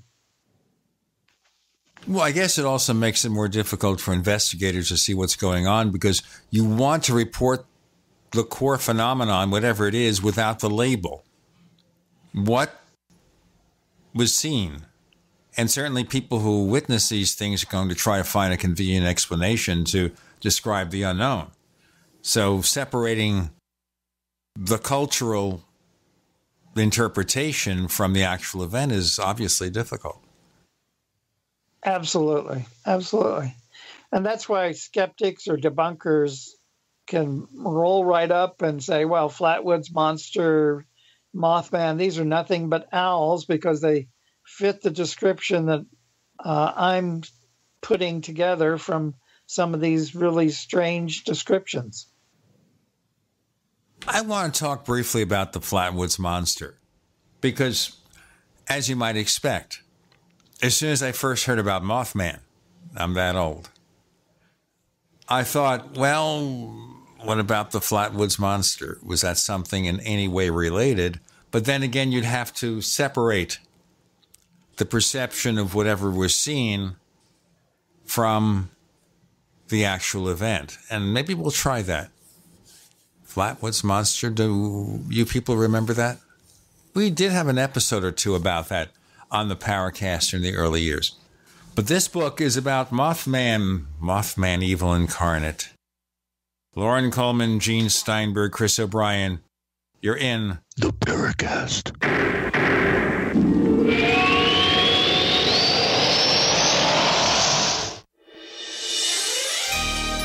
Thank you for listening to GCN. Be sure to visit GCNlive.com today. We also have swag.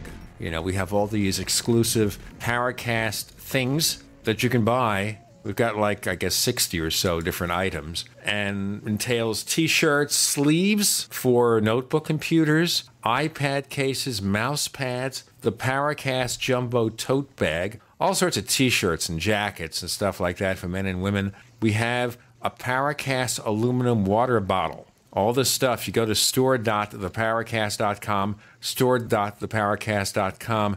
What makes it special is that the items are the best quality, you know, great t-shirts, fabrics, and they have our official logo on them. That's what makes them special in multiple sizes and colors. We even have stuff for children, stuff for women, stuff for men. We have all sorts of sizes like small up to X large. A lot of good stuff. That's the swag from the Paracast. You go to store.theparacast.com, stop by, and take a shopping tour. Looking for that edge during those intimate moments? We see many ads for enhancement, but the side effects include death. At GCN Team, we should change the Healthy Body, Brain, and Heart Pack to the Healthy Libido Pack. The brain and heart are not the only organs that require a healthy vascular system. For proper blood flow at the right moment, go to GCNteam.com or call 877 878 4203. That's 877 878 4203. That's 877 878 4203. The answer to being in control of your own healthcare is freedom from insurance. Become part of a group of self pay patients that come together to share in each other's medical expenses. Individual share amounts begin at $107 a month and $347 for families. Choose from three health sharing programs. Holistic treatments may be eligible for sharing. See guidelines. Discount programs available for dental, vision, and pharmacy. Go to libertyoncall.org. That's libertyoncall.org.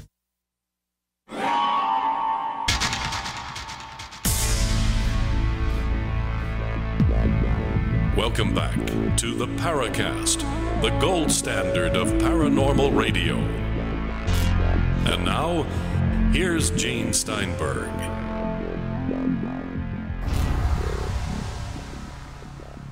So, therefore, the Flatwoods Monster, Flatwoods, West Virginia. Boy, why does everything happen in West Virginia? Any relationship, connection, similarity? What? Well, I think there is a little bit of connection. Of course, it is the Appalachia area. West Virginia, you have people that are really kind of unsophisticated. The thing that sets apart the Flatwoods Monster Course is that it does seem to have a UFO or a rocket or something in the sky over the hill that appeared before the Flatwoods Monster was actually seen. And as I document in my earlier book, Mothman and Other Curious Encounters, the Flatwood Monster incident is not alone in its occurrence. During that time period, we had several Flatwoods monsters being seen. It almost as if there was an invasion uh, from UFOs, so to speak, and then big monstrous creatures being seen. The classic Flatwoods monster course stood uh, very tall, you know, seven feet tall, and it had a huge ace of spades head that had eyes that came through it that seemed to have some light source behind it. Uh, there were also some very strange things occurred with the dog. This group of people that went up the hill to see the Flatwoods monster all raced down it, and the dog that was with them raced down it, jumped over a, a fence or, or went under the fence, and then got ill, you know, started vomiting and things. And I think some of the people actually didn't feel too well either. You didn't have any of those kinds of experiences with Mothman. People didn't get sick, they didn't um, vomit or anything like that. And so the Flatwoods Monster really uh, had that kind of more physical ramifications. It kind of reminds me of some of the UFO stories that I have read. Now, one time, Jim Moseley told me something really strange. And maybe it was one of those times when he had more of his VAT 69 whiskey than he normally did, or more of his smoking substances. And he said when we went up there, I assume a lot of the witnesses were kids, right? As I recall. This is, you know, many years ago. One mother and all kids. All right. That they observed, I don't know, a parent, two people getting it on. And that was the original source, you know, like two people cheating on their families. And that was colored as some kind of monster. That was Jim's interpretation. I guess he got it from Gray Barker. Never heard that. I never heard it since. He mentioned it one time, and I thought maybe it's just his sick humor with well, ascendants. You know, both of those individuals did look at the world sexually in a way that a lot of us didn't approach a lot of these cases. So, could be. I don't know. Jim made a big thing about sex and saucers, where flying saucers somehow represent a substitute for some kind of sexual activity.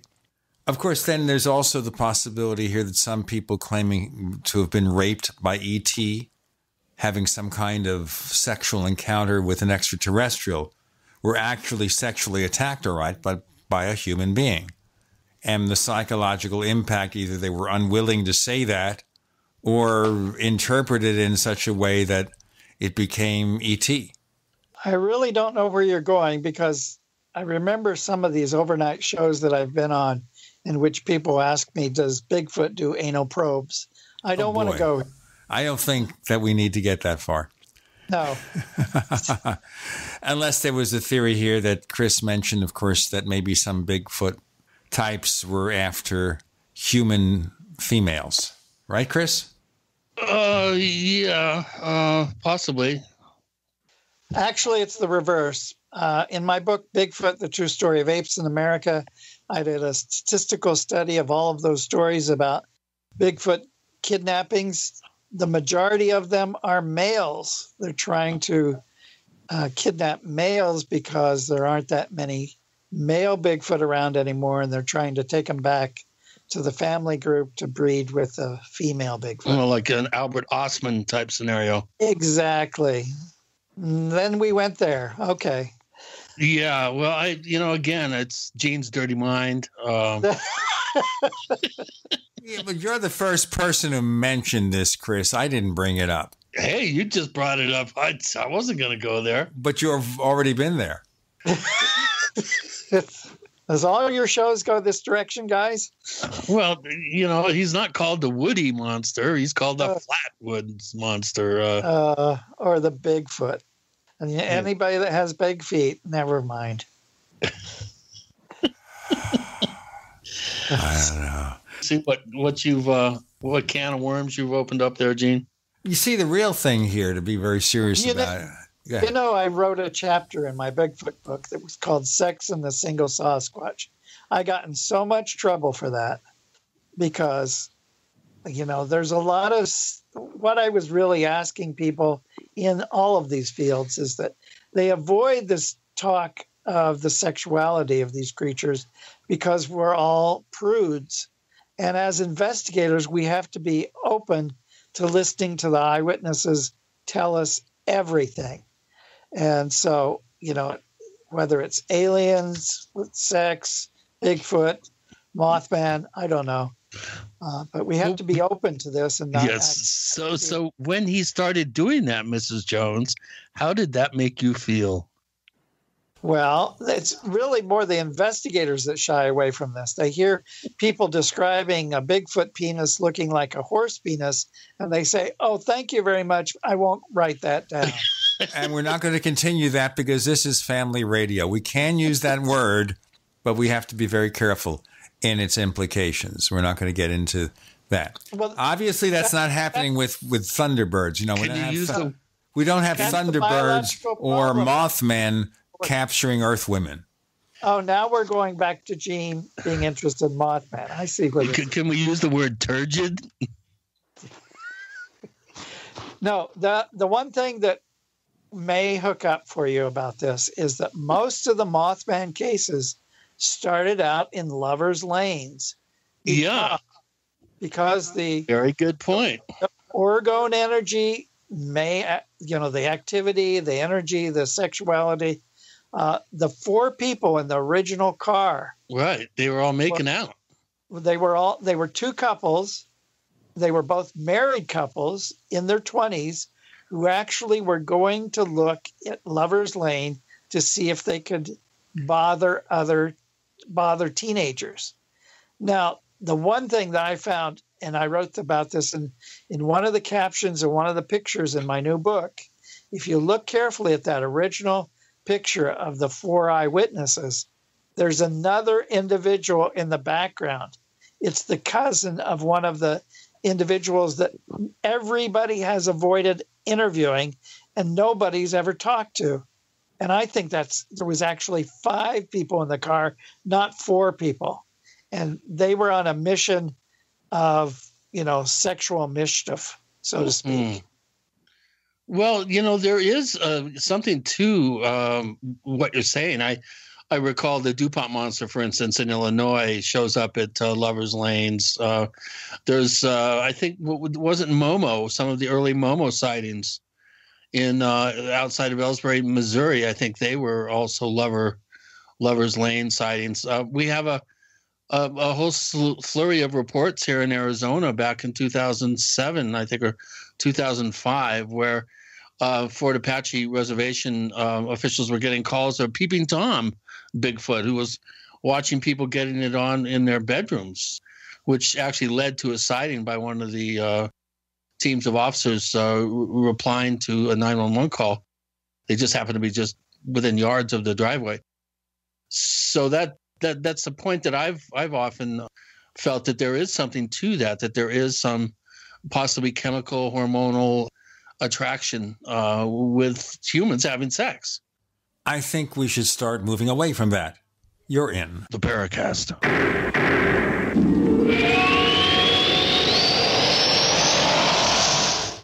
Attack of the Rockoids has been well received by critics and readers alike. It's a thrill a minute story you'll never forget. A former U.S. military intelligence officer is haunted by intense dreams about a beautiful woman pleading for his help after a terrible battle in outer space. But the dreams turn out to be true and thrust him into a telepathic love affair with a woman whose faraway planet is intent on destroying the Earth. And now the gripping tale continues in The Coming of the Protectors. It's the second book of the Rockoids trilogy, a galaxy spanning adventure that pits our hapless heroes against powerful, fanatical enemies that threaten the lives of freedom loving beings everywhere. Attack of the Rockoids and The Coming of the Protectors. Classic science fiction at its best, available now. For more details, visit rockoids.com. That's R O C K O I D S dot com. Attention business owners and independent contractors. This is a money saving message from Tax Mediation Services. If your business owes $20,000 or more in taxes, we can help you today, right now. Listen, dealing with the IRS is no picnic. It's an intimidating and extremely stressful process, and you don't want to go it alone. Our attorneys know every law, every tax break, and every possible opportunity to help you resolve and reduce your tax debt. And if you owe more than $20,000, you may be at the top of their hit list. So don't take your tax debt lightly because it will not go away on its own. The IRS can seize your bank accounts, your home, and even shut down your business. Call our tax experts today at 1 800 765 9681 and let us deal with the IRS while you focus on your business. That's 1 800 765 9681. Again, that's 800 765 9681. Many medicines used to treat colds and flu contain acetaminophen, a pain reliever and fever reducer found in hundreds of over the counter and prescription medicines. But taking too much or more than one medication containing acetaminophen per day can damage your liver. So always read the label and don't take acetaminophen if you drink three or more alcoholic drinks every day. To learn more, visit fda.gov slash OTC pain info. A message from the U.S. Department of Health and Human Services Food and Drug Administration. People search the internet for everything, including you. With a few clicks, information from your past can be quickly discovered, from business deals gone wrong to misleading reviews, negative articles, and unflattering images. Studies show 78% of people search for someone online before doing business with them. Will they find the real you? With ReputationDefender.com, you can establish a positive internet presence. ReputationDefender.com pioneered the field with over a decade of experience, serving thousands of successful individuals and businesses. We use patented, award winning systems to boost positive content and suppress negative material. Don't let the internet define you. Take control of your reputation today with ReputationDefender.com. For your quick, free reputation analysis, call 800 831 0771. That's 800 831 0771. 800 831 0771. Or visit reputationdefender.com. Has your body ever gone low blood sugar feeling weak, shaky, knowing you better eat something fast? We all know high blood sugar can lead to many metabolic problems. At GCNteam.com, we have a healthy blood sugar pack focusing on the structure and function of stable blood sugar. Find us at GCNteam.com or call 877 878 4203. Nothing feels worse than unstable blood sugar. Call 877 878 4203. That's 877 878 4203. We'd like to hear from you. If you have a comment or question about the Paracast, send it to news at theparacast.com. That's news at theparacast.com. And don't forget to visit our famous Paracast community forums at forum.theparacast.com. And you see, folks, it's not something I just happened to raise or explore. Well, there's also John Keel did a whole segment on the grinning men. The grinning men would be tall creatures or entities that would look over the tops of the windows into, you know, and become a peeping Tom. And then remember Jim Brandon, Weird America, and all of those books? Oh, yeah. He actually felt that trailers were a magnetic spot for all of these creatures because the different layers of insulation and metal was like a orgone producer, you know, William Reich, that there was actually this sexual energy being caught up in trailers was sending out certain waves to, uh, you know, Bigfoot or Grinning Man or Mothman or whatever, and that they were major attractions. So, yeah, I definitely understand what you're saying from all your cases. All right. Now, this is an interesting question here. Is there evidence then, except in certain instances, that that kind of energy may cause these weird things to happen? Do UFOs hang around lovers' lanes at all? Yes, yes, they do, and even more so if you look at some of the the books about Wilhelm Reich's facility up in Rangeley, Maine. There were a lot of UFOs photographed overhead uh, in the Orgonon. Or he actually produced cloudbusters and wrote books about the UFOs that were attracted to this energy. Well, as I said again, anytime you get into something such as hybrid aliens involved with abductions, you're into this full square. Right. And uh, who knows where that goes. I don't think there's any alien Bigfoot hybrids, though. And a lot of people in the Bigfoot field have been really upset by a lot of the earlier DNA studies where uh, they were kind of cut short by somebody saying that Bigfoot were part angels that came down and bred with human beings. So it seems like it was just another version of your alien hybrids. The Nephilim. Oh, yeah. If there could possibly be a human Bigfoot hybrid, wouldn't they have to be very closely related genetically? Well, hybrids would be, but most hybrids are sterile.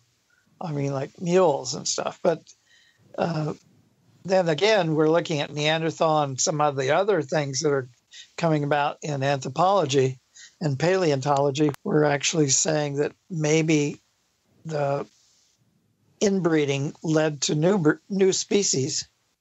I don't know. At least we're not talking about Snippy, right? No, no about Snippy. Someone wrote to Chris this week about a Snippy update, right? Yeah. Yeah. Oh, somebody has a bright idea of taking an altimeter um, uh, pressure fuse. In other words, when if the cow's taken up in the air, strap a two thousand pound bomb to it, and have a fuse that's uh, that goes off uh, if it's if the, the the pressure, the air pressure changes, like going up in the air.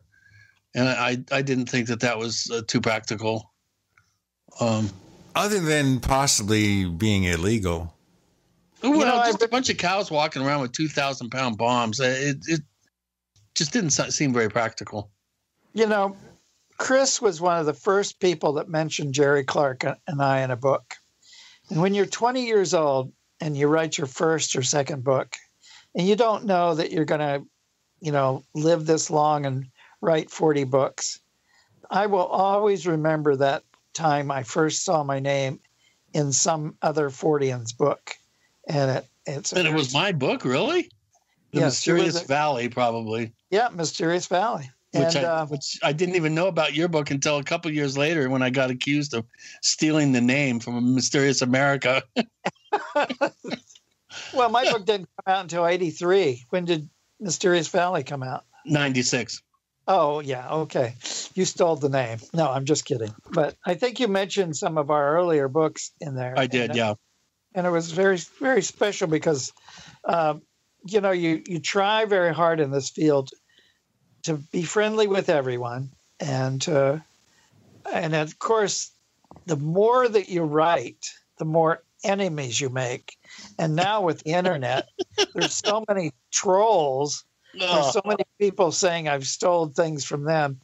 So to even like read John Keel, I knew who he was talking about because I gave him one third of his book for Creatures of the uh, Strange and Strange Time and Time, and Yeah. he kind of always always forgot that I'd given him all those chapters, and yet it comes around. It's just getting very confusing. Ivan Sanderson and I in 1965 once had a conversation, and he told me there was only five people in the country that were interested in Bigfoot. And nowadays, it's just an explosion of people interested in Mothman, Bigfoot, UFOs, everything. And who could have imagined, you know, back in the 60s that anybody would care about anything we were interested in or writing? Yeah, yeah, that's true. I remember thinking I was the only one for a lot of years. Yeah, yeah. And so it's it's kind of nice. The internet does have its downsides, but also has an instant connection to to people that's uh, very reinforcing and humbling. Yeah, good point. Well, I mentioned Jerry Clark in my last book, but he's probably not going to be too happy about it. Uh, I Jerry and I are still friends and still correspondents, and I I still like him a lot, and I still Yeah. know what buttons I can push on him and get him going. Well, I, I took his whole his whole comment that the Alexander Hamilton uh, calf abduction case in 1897 was was the result of a liars club contest, and uh, I totally debunked him on that. I found all his original articles and uh, totally blew blew his his assertions out of the water. Well, I always wondered when that came out because, of course, with a lot of sea serpent and Bigfoot stories, you can always find somebody in another newspaper that will say this is a lie or this is made up. Uh, the whole Jacko, the case of the right the the, the British Columbia Railroad, right? Who one person said that was a, a newspaper hoax, and yet you can find other people saying, well, maybe there was something to it, and this one paper was just trying to decrease the circulation of the other one by saying it was a hoax. And that happened a lot back in the old days. Yeah. That kind of journalism. Well, I was talking about Jerry quoting an article where where Hamilton supposedly admitted that it was a lie and blah blah blah. And I found that article, and he does nothing of the kind. Uh, and that was the big. That was the big. Uh, uh, that was the article that he was basing a lot of his uh, his conclusions on. And I've I've found the actual original copy of the article, a Michael uh, a microfiche uh, article, and uh, it didn't say anything of the kind. In fact, it it it, it actually it, it was uh, done in such a way it actually said the opposite. we are going to have some opposite messages right now, and then we'll get back straight ahead with Loren, Gene, and Chris. You're in the Paracast.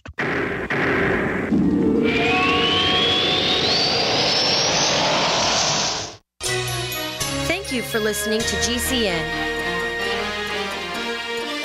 Visit GCNlive.com today.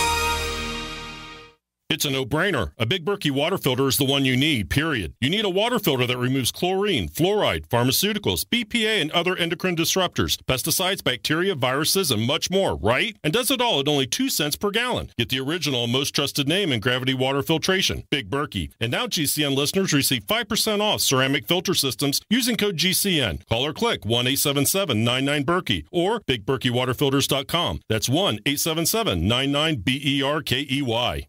The answer to being in control of your own healthcare is freedom from insurance. Become part of a group of self pay patients that come together to share in each other's medical expenses. Individual share amounts begin at $107 a month and $347 for families. Choose from three health sharing programs. Holistic treatments may be eligible for sharing. See guidelines. Discount programs available for dental, vision, and pharmacy. Go to libertyoncall.org. That's libertyoncall.org.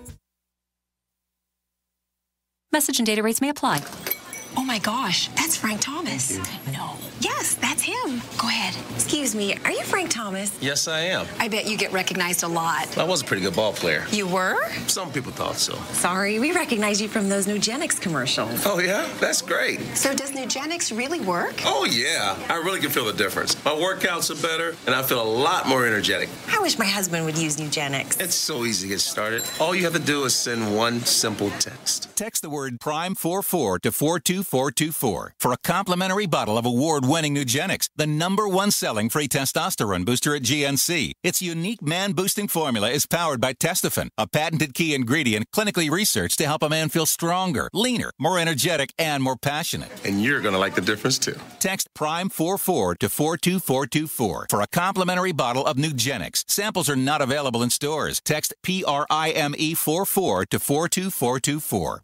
You haven't experienced yogurt until you've tried Amasi, embodying health and flavor in a true whole milk, green fed dairy beverage. Every sip pays homage to our old world cows and the ancient culturing methods their milk benefits from. With over 30 probiotics, Amasi's undeniably nutritious, refined, cultured sensation bolsters your health and awakens your passion for dairy. Amasi's so good, and you need to try it. Contact your longevity distributor or call 877 878 4203 or go to gcnteam.com. Kiss your credit card debt goodbye. I'm Pharmacist Keith. Dr. Wallach, the Dead Doctors Don't Lie guy, and myself want to show you how to achieve financial peace, creating an extra income that will last for years to come by joining Dr. Wallach's crusade, spreading his message of better health. To learn more, visit radio.recordedvideo.com. That's radio.recordedvideo.com, radio.recordedvideo.com, or call 866 257 3105 for a recorded message. Hello, my name is Marjorie Wildcraft. I'm the founder of the Grow Network, which is an online community of people who produce their own food and medicine.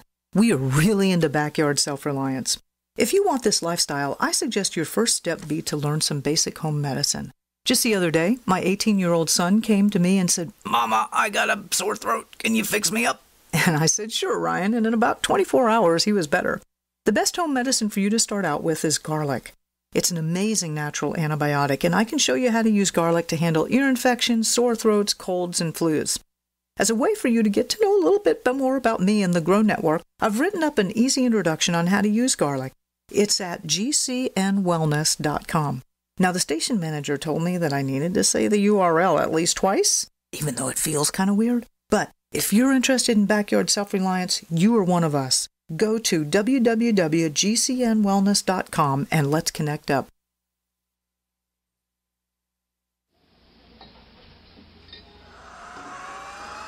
Hi, this is Joshua P. Warren, author of The Poor Man's Paranormal, and you're listening to the Paracast, the gold standard of paranormal radio.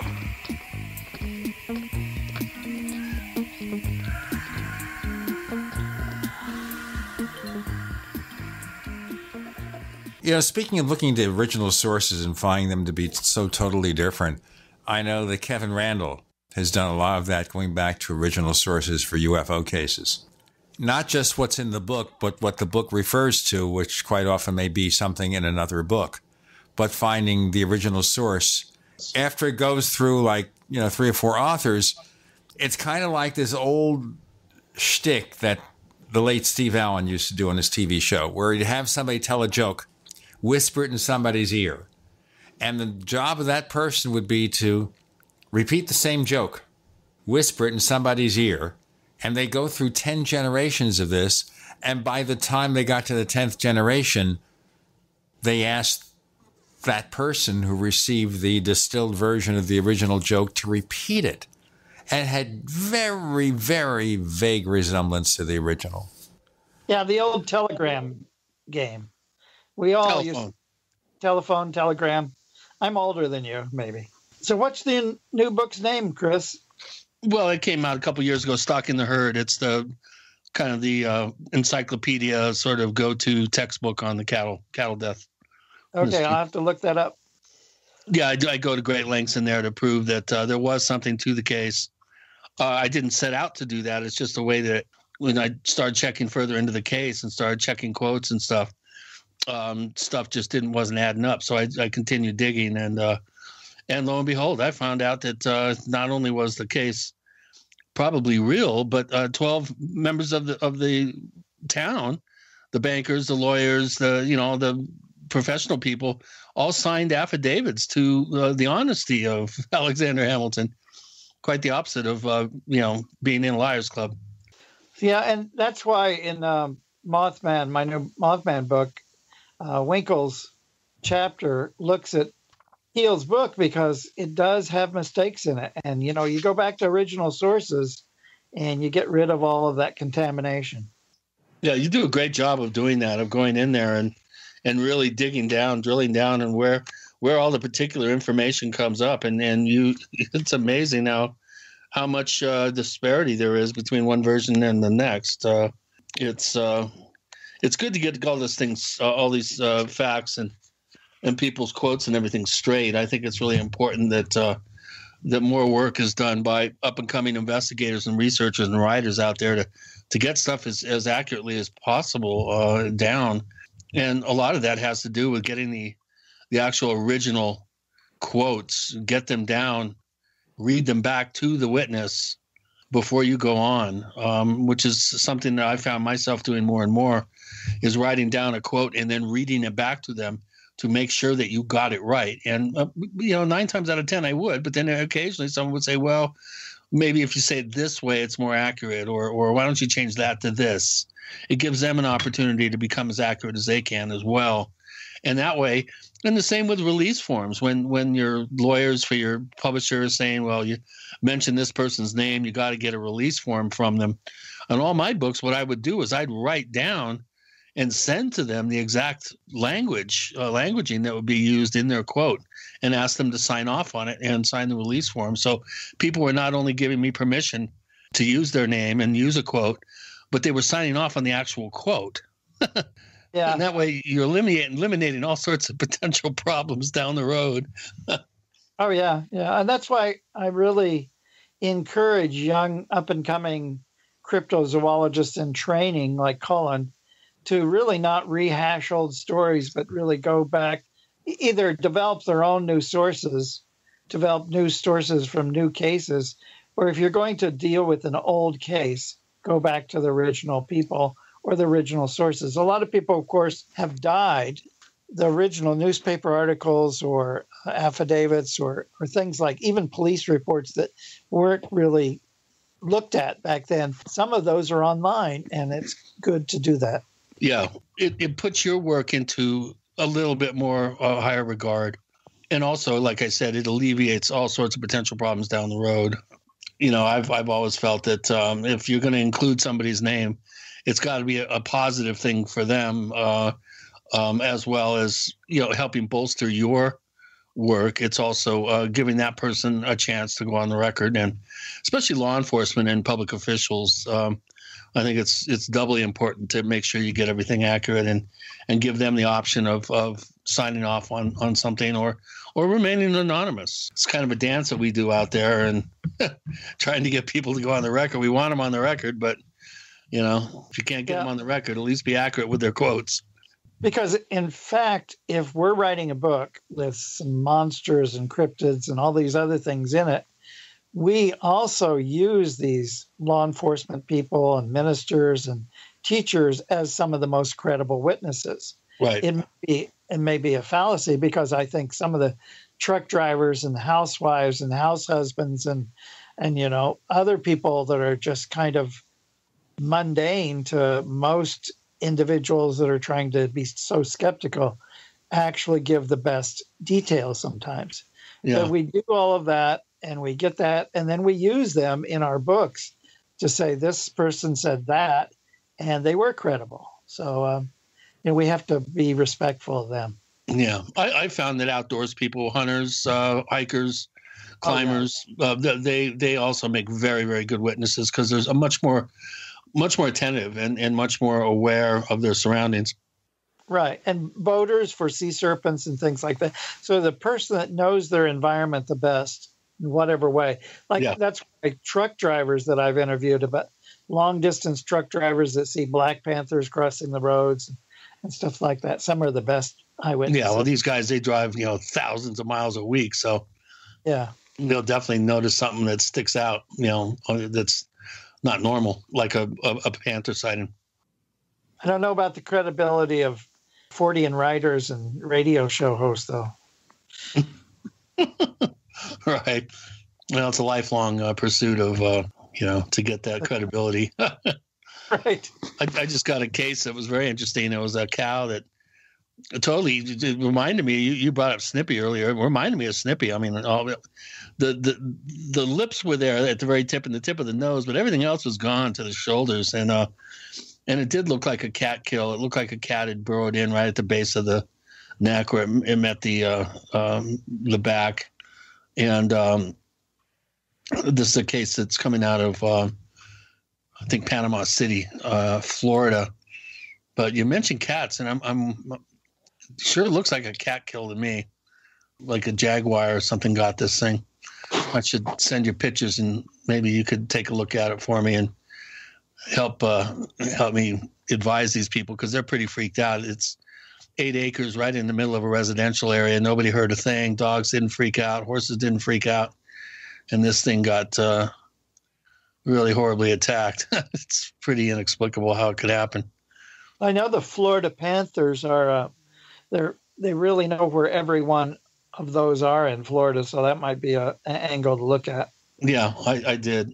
I did. I'm I'm in the midst of doing that, and or jaguars too. There are some jaguars down there. Yeah. Jaguars are smaller, though. I don't think a jaguar is going to be attacking a full-grown cow.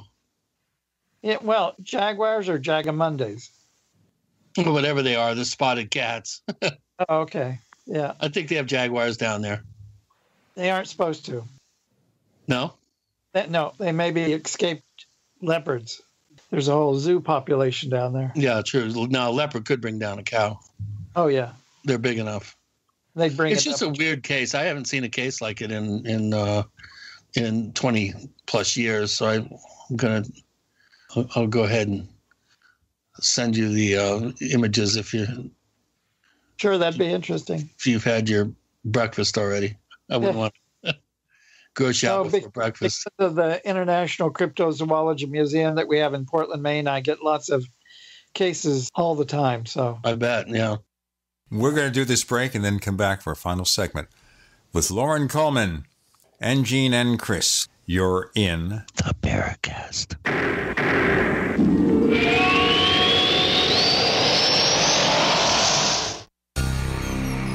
Thank you for listening to GCN. Visit GCNlive.com today. As you know, neighbors, web hosting can be pretty cheap, but not all hosting is the same. DreamHost wins Best of Awards year after year. You get unlimited disk space, unlimited bandwidth, and even the low cost plans put your sites on high performance SSDs. Want to know more about what DreamHost has to offer? Go to technightowl.com slash host. Once again, that's technightowl.com slash host. First came Attack of the Rockoids, and it was a critically acclaimed success. And now there's The Coming of the Protectors. A former military intelligence man is contacted by a space woman in a dream, a dream that turns out to be a nightmare because evil forces on our distant planet are planning to conquer the Earth. This is gripping science fiction of the classic kind. Attack of the Rockoids and The Coming of the Protectors. Find out more at rockoids.com. That's rockoids, R O C K O I D S dot com. This is Dan Pilla. Do you owe the IRS money you can't pay? Are tax debts crippling you? I've defended people from the IRS for over 30 years. I've helped thousands and I can help you too. I wrote the book on IRS settlement and I'm telling you, there's no such thing as a hopeless case. Call 834 no tax to finally get free of IRS debt. With the IRS's new programs, there's never been a better time to solve your problem. Call 834 no tax. That's 800 34 no tax or my website, danpilla.com.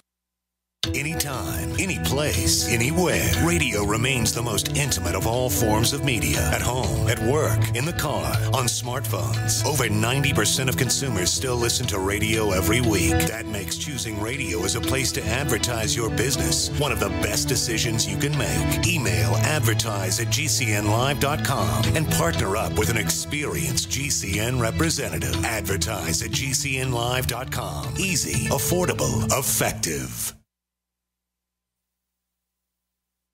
Age related macular degeneration is a leading cause of blindness in people over 55, but with treatment, it can be slowed down, stopped, and in some cases reversed. Make sure you see your grandchildren grow. Protect your vision by requesting information about diagnosing and treating AMD. Call the Foundation Fighting Blindness today at 1 800 Blindness for a free packet on reversing or managing AMD, or go to the website fightblindness.org where I found so much helpful information. Or again, call 1 800 Blindness today. Non attorney paid spokesperson. Could your house go into foreclosure? Are you behind on your mortgage payments? Does it seem like the bank has no interest in helping you save your home? And you feel like you have nowhere to turn for help? Then we have good news for you. Foreclosure Protection Services can help save your home as they specialize in foreclosure assistance. That's all they do. If you're behind on your mortgage payments, being threatened with foreclosure, have been denied a loan modification, or been the victim of a predatory loan, it's critical that you call Foreclosure Protection Services now at 800 667 9035. Their network of attorneys and their agents are available to speak to you now. If you're behind on your mortgage payments, Foreclosure Protection Services can help stop the foreclosure process. Call today before it's too late. New laws are in effect that may save your home. Call Foreclosure Protection Services now at 800 667 9035. 800 667 9035. That's 800 667 9035. If you or someone you care about loves outdoor adventure, then check out slingbow.com for some unique holiday gift ideas. That's slingbow.com, where we have some innovative new products for the archer, hunter, or bow fishing enthusiast in your family. Now through January, use the promo code HOLIDAY to get free shipping in the US or Canada.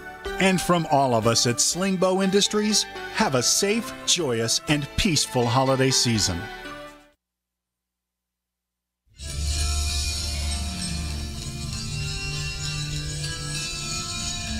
Hi, this is Bryce Zabel. I'm the producer of Dark Skies, the co author of AD After Disclosure, and you are listening to the Paracast, the gold standard of paranormal radio.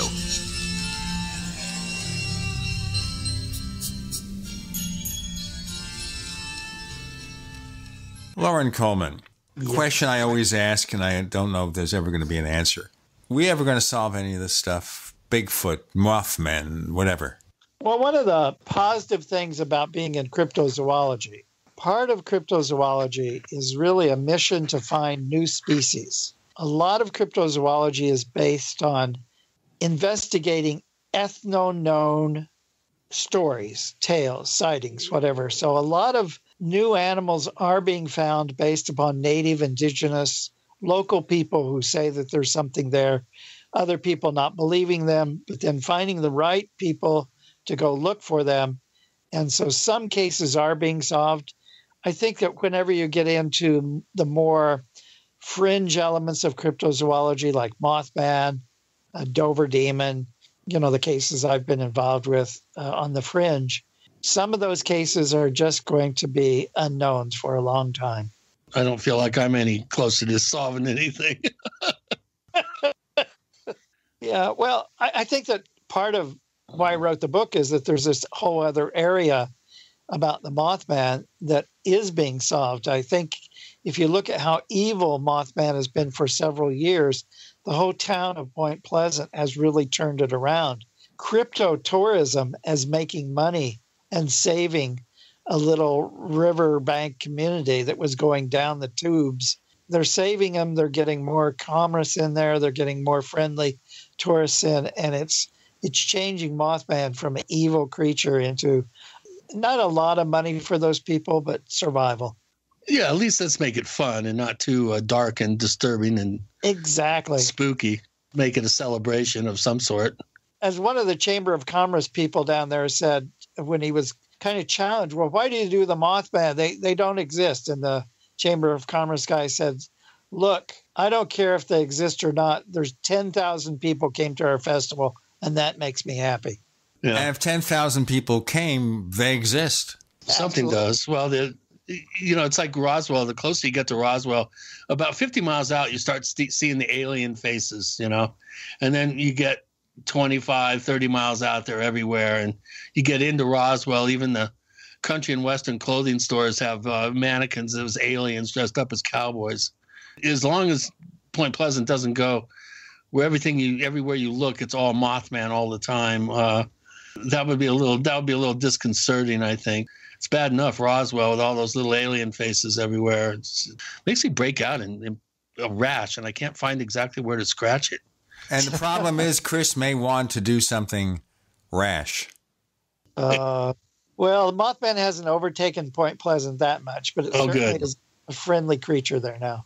Well, yeah, you see, the thing I worry about though here is if Mothman has inspired all this tragedy around it, especially in the original event, the collapse of the bridge and the people who died after. Do you think maybe they're not tempting the gods there in having this event, making Mothman warm and fuzzy? If we make Mothman warm and fuzzy, do you think Mothman may come back and bite those who try to feed it? Well, the one cautionary tale that I have to tell about that is on my Mothman death list, the first suicide uh, that has occurred at the Mothman Festival happened last year. So that's something to watch. Uh, the Mothman Festival only has existed since the movie. And they were kind of shocked that somebody would actually go to the water and just jump in. And they did the traditional thing with suicides. He took his shoes off and put them calmly on the bank and then jumped in. Of course, they want to be neat. Chris lives in a strange place. What do I do now? Well, you live in a place that's being attacked by Mothman, right? Or Bigfoot, or no, no, just all these feral cats, mystery cats. Yeah, mystery cats, right? So we have a we have a kitty drug dealer here who's got a whole yard of catnip or something because uh, there's cats everywhere here. You know that reminds me when we used to live at that double wide in Mesa. You visited the place a couple of times, and we were being visited endlessly by families of cats. And Barbara felt bad, so she said, "Why don't you put out like a bowl with food, and maybe some get some cat food, and some water?" And I said, "You're going to have those cats there permanently. They're not going to go away," which was true. Yeah. Finally, when we moved out, we arranged with the rescue club to have those cats taken in and rescued and find new owners for them. So I guess we did a good thing. Speaking of cats, I'm not a big cat thing, but the cat would sometimes, one of the cats took a liking to me, would come up to me waiting for the food. And Teddy Bear, our Bichon, didn't seem bothered by them. Gene, Chris, I want to thank you for inviting me on your program. Well, anytime. It's always fun to have you on, Loren. You know that. We Yeah. love having you on. You're one of our favorite guests. Well, thank you. Well, I like that you were interested in my book, and I hope you got your copies okay. Some people I haven't. did, and I got my ticket to the museum and my sticker. Oh, good. I got it in my, my postcards, which shall all be used uh, in in a pro, you know in an appropriate manner, in a proper place. There's no expiration date. Come anytime you can. Yeah, and you even signed the book for me. I love it. Yeah, I got my package right here. The book is right there in front of me with all the extra stuff. So now I'm forced to somehow find a way to travel from here to get there and see your place Yeah, before I'm too we- old. Right. The museum's going to be there even if I'm not. You know, even if I pass on to Mothman land or Bigfoot land. But I don't plan to do that for another 10, 15, 20 years. So a lot of Well, that's good to know. Yeah, it's uh, it's been a rough patch, but I'm feeling better now. So, do you have any new projects coming up after this that we should know about? Oh, I have always do have new projects. I've I've signed a couple contracts. One for a, a general cryptozoology book, another book on uh, Twilight language. My interest in kind of the name game and all of that. Well, actually, there's a book coming out on the Big Muddy Monster in Southern Illinois. I did the introduction to that. I've already done that, but you know, other people take some time publishing books. I look forward to that. And then what I'm doing is traveling a lot these days, going to San Francisco. I've been invited to Hawaii and Minnesota and Texas to give talks on Bigfoot or Mothman. So that's been a lot of fun. Nice. Well, traveling keeps you young. Yeah, it does. You have to to fight TSA and the inspections and I only have one rule. I never travel on Southwest anymore because every time I try to race anybody, I, I end up next to the bathroom at the back. So, Yeah. you have to call in 24 hours before your flight. Exactly. As soon as that 24 hours to the second, you got to call in. Then you can get in one of the, the first groups to get seated. Um, I like Southwest because I can bring two suitcases and not get charged. No, Loren, if someone wants to get in touch with you, where do they contact you? probably the best bet is cryptozoologymuseum.com. There's the email address on there, there's contact information on there, and it tells them how to stop and actually see me face to face at the museum in Portland, Maine. Indeed. I've got the ticket here. Chris has his ticket. Somehow this has to be worked out. You can find us on Twitter if you look for the Paracast. You can find Chris at his site, ourstrangeplanet.com. You can also find us on Facebook with a pair of Paracast fan clubs, a group and a community. I'm not sure what the difference is, but I'm sure most of you know, so take your choice.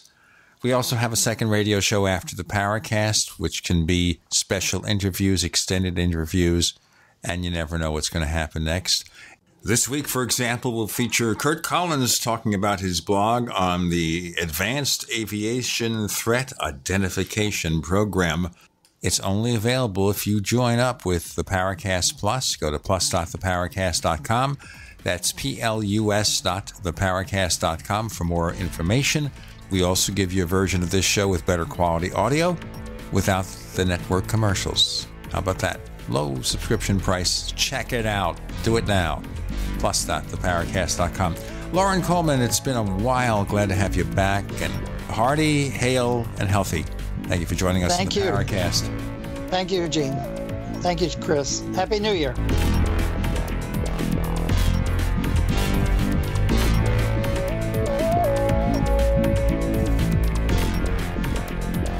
The Paracast, featuring Gene Steinberg and Christopher O'Brien, is a copyrighted presentation of Making the Impossible Incorporated. Tune in next week for a new adventure in the Paracast.